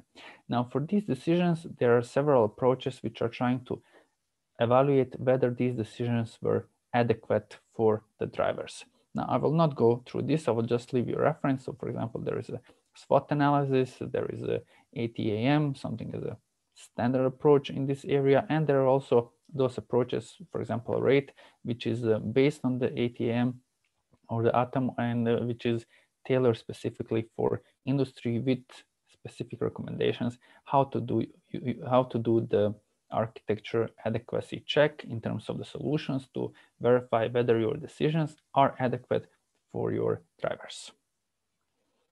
Okay, we are back to this annoying. Okay, so uh, I would start to wrap up at, at this point and uh, leave some time for discussion. So to conclude, basically, we started from those drivers, as I have said, so mostly focusing on the execution time.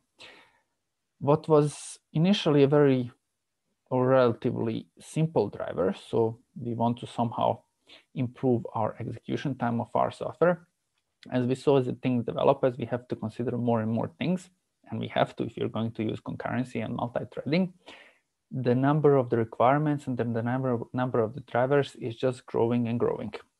So when someone makes a decision to use the multi-cores in concurrency, it really needs to consider many other requirements, many other drivers, and it needs to make many other decisions. So it's not just one decision about this. because there are so many of these requirements and because there are many so many of these drivers, the question is whether the decisions are adequate. Well, the first part of the problem, I would say, is who makes the decision, whether it's an architect who can predict what will be the uh, potential implications to our decisions, or you're going to let the developers to make the decision and hope for the best. The point here is even when we um, create these design decisions properly from the architecture point of view, the question is how to code them properly. And the second thing is once we code that, how can we test if the coding was successful without compromising the correctness of our software? So it's really hard to do this properly, but uh, it's one of the ways of using the hardware that we have for increasing our performance. If you have certain ideas how to expand this, if you have a certain feedback, uh, if you would like to cooperate on some interesting problems, please let us know. Here are our, emails. And I would like to thank you, thank you for your attention, and I'm here for your questions.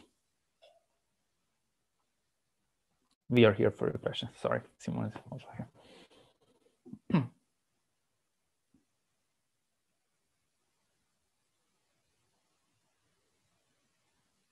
so any feedback, any questions?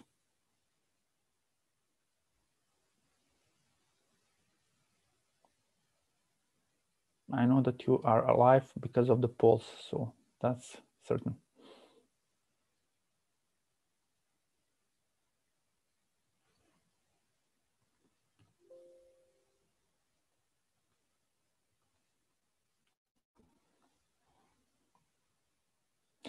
So there is one question. Uh, is there much hope for better concurrency design in the future? Uh, I have some comments. I'll first ask Simon, do you, would you like to comment on this?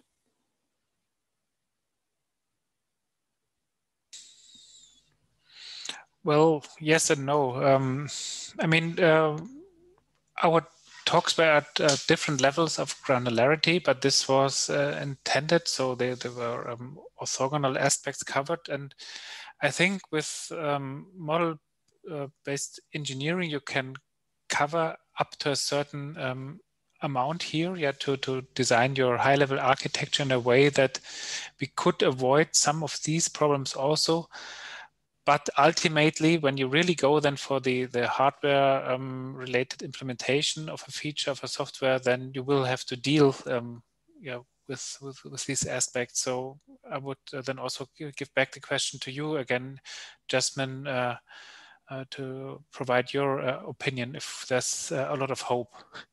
Sure. So from the design perspective and from the coding perspective, we can theoretically do all of this properly the problem is it's really hard to do it properly. Now, if it's really hard to do it properly, that means that the efficiency of in producing such software and such software systems then is going to be very low because after some time, our cognitive capabilities are simply overwhelmed. So we cannot produce concurrent multi-threaded software efficiently as we would like without compromising correctness. Now, one way to go is to have a frameworks which are going to abstract this complexity and enable partial hiding of this complexity behind them. And that could increase our productivity, that could remove by design many of these bugs which originate. So in uh, C++ standards, there are already really nice libraries which enable you to use their thread libraries much easier. This is just a start, but okay, from that perspective, there is hope. The challenge is whether this is the solution for embedded systems, because any abstraction that we add also means less control for what's going to happen under the hood. So if we don't know what's going to happen below these frameworks and how these frameworks are going to interact and uh, what will be compiled and what will be the optimization, so how this will affect our worst case execution time, then it's really hard to use it for the systems that need worst case execution time guarantees. And uh, that's from the coding and design perspective. There's additional problem which we didn't discuss, but it's in the slides. Uh, that's the problem of the dark silicon. So as we're getting more and more uh, transistors on a chip, it seems that we cannot power them on at the same time. So we can only power certain parts of the chip because otherwise if we power them all, the chip would burn even if it runs at the lower frequency than it used to. That means that we're moving into this direction of the specialized accelerators. But again, if we go in the direction of the specialized accelerators, developers need to know about the hardware. And if they need to know about the hardware, that's going to reduce their productivity. So it's uh, currently the discussion in the community is that this is the golden age of the uh, computer architecture because we're really creating new concepts and not 100% sure how this will develop. But these are just uh, some boundaries among which we are we're dancing.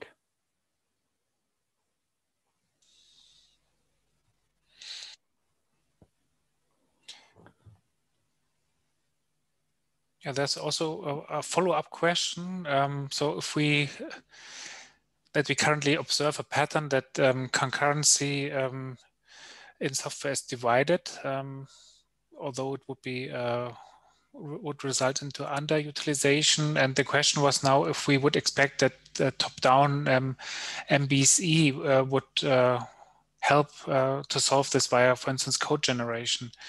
Here, uh, I think yes, um, this is you know, one potential uh, way of addressing this, because um, if we, we, encode also our knowledge about the platform and also the guarantees um, uh, by uh, using some of the um, concurrency um, safeguarding mechanisms that we have discussed, then you can also build, for instance, your um, safety argumentation based on your knowledge both about the application um, and the platform. And so um, I think um, that uh, MBSE is yeah, one potential way of uh, keeping um, yeah, these two worlds then uh, in sync.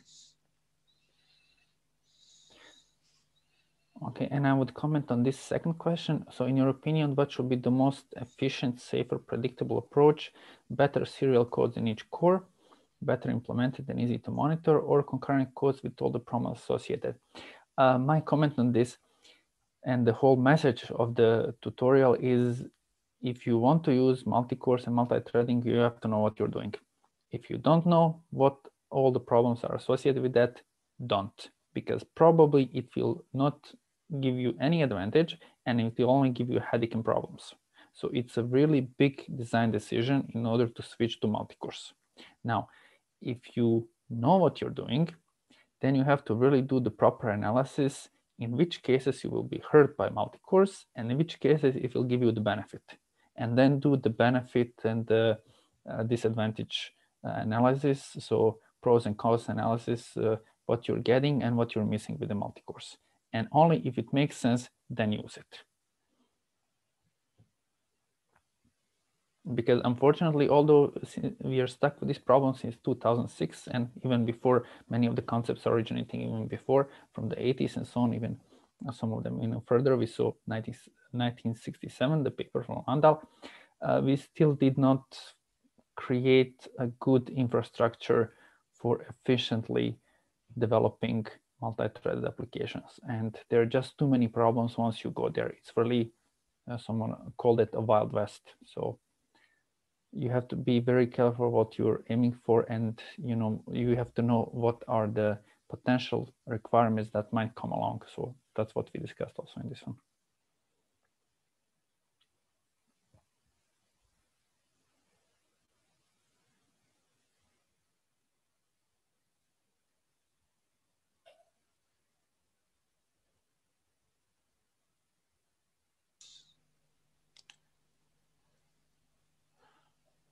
Okay, there's now a, follow-up question. Um, so which architectural decisions are the top candidates of benefiting from trace analysis uh, and platform models in an MBSE approach?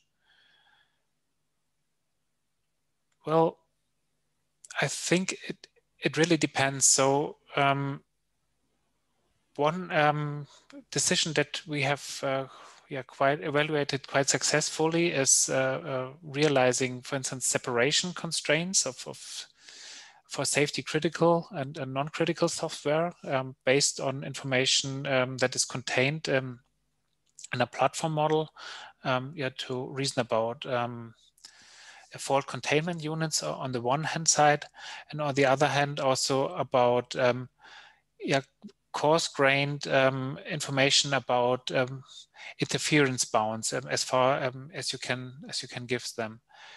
Um, so I think this would be um, so the the mixed criticality integration and the uh, the question how to deploy uh, software onto a target system is something that could, from at least from my point of view, certainly benefit uh, from uh, the proposed uh, solutions. Maybe Jasmin, you have also some remarks regarding the. Uh, not much, just maybe regarding the tracing. Uh, one has to be very careful, careful with tracing because most of the approaches today for tracing are based on um, binary instrumentation. That means changing the binary under the trace. So getting the trace out of those binaries usually means getting the information about the software and those information as not, are not really the same uh, or sometimes even much different than the original software. Now there are approaches based on uh, hardware and the simulators which are able to do this non-intrusively, but uh, be careful what you're doing.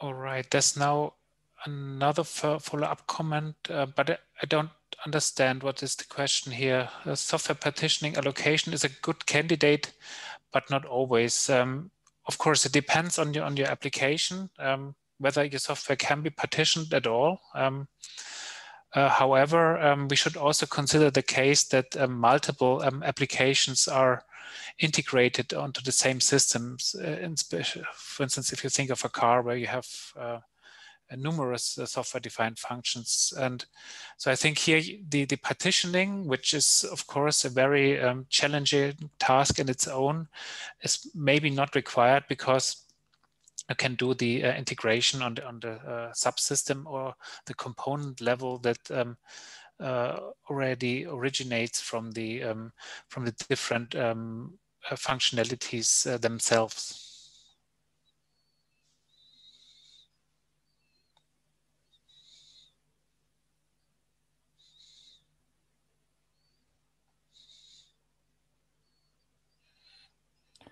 Okay, if there are no follow-up questions and follow-up comments, then I think we can wrap it up. Then from my side, thank you once more for your attention and uh, these are the emails. Feel free to contact.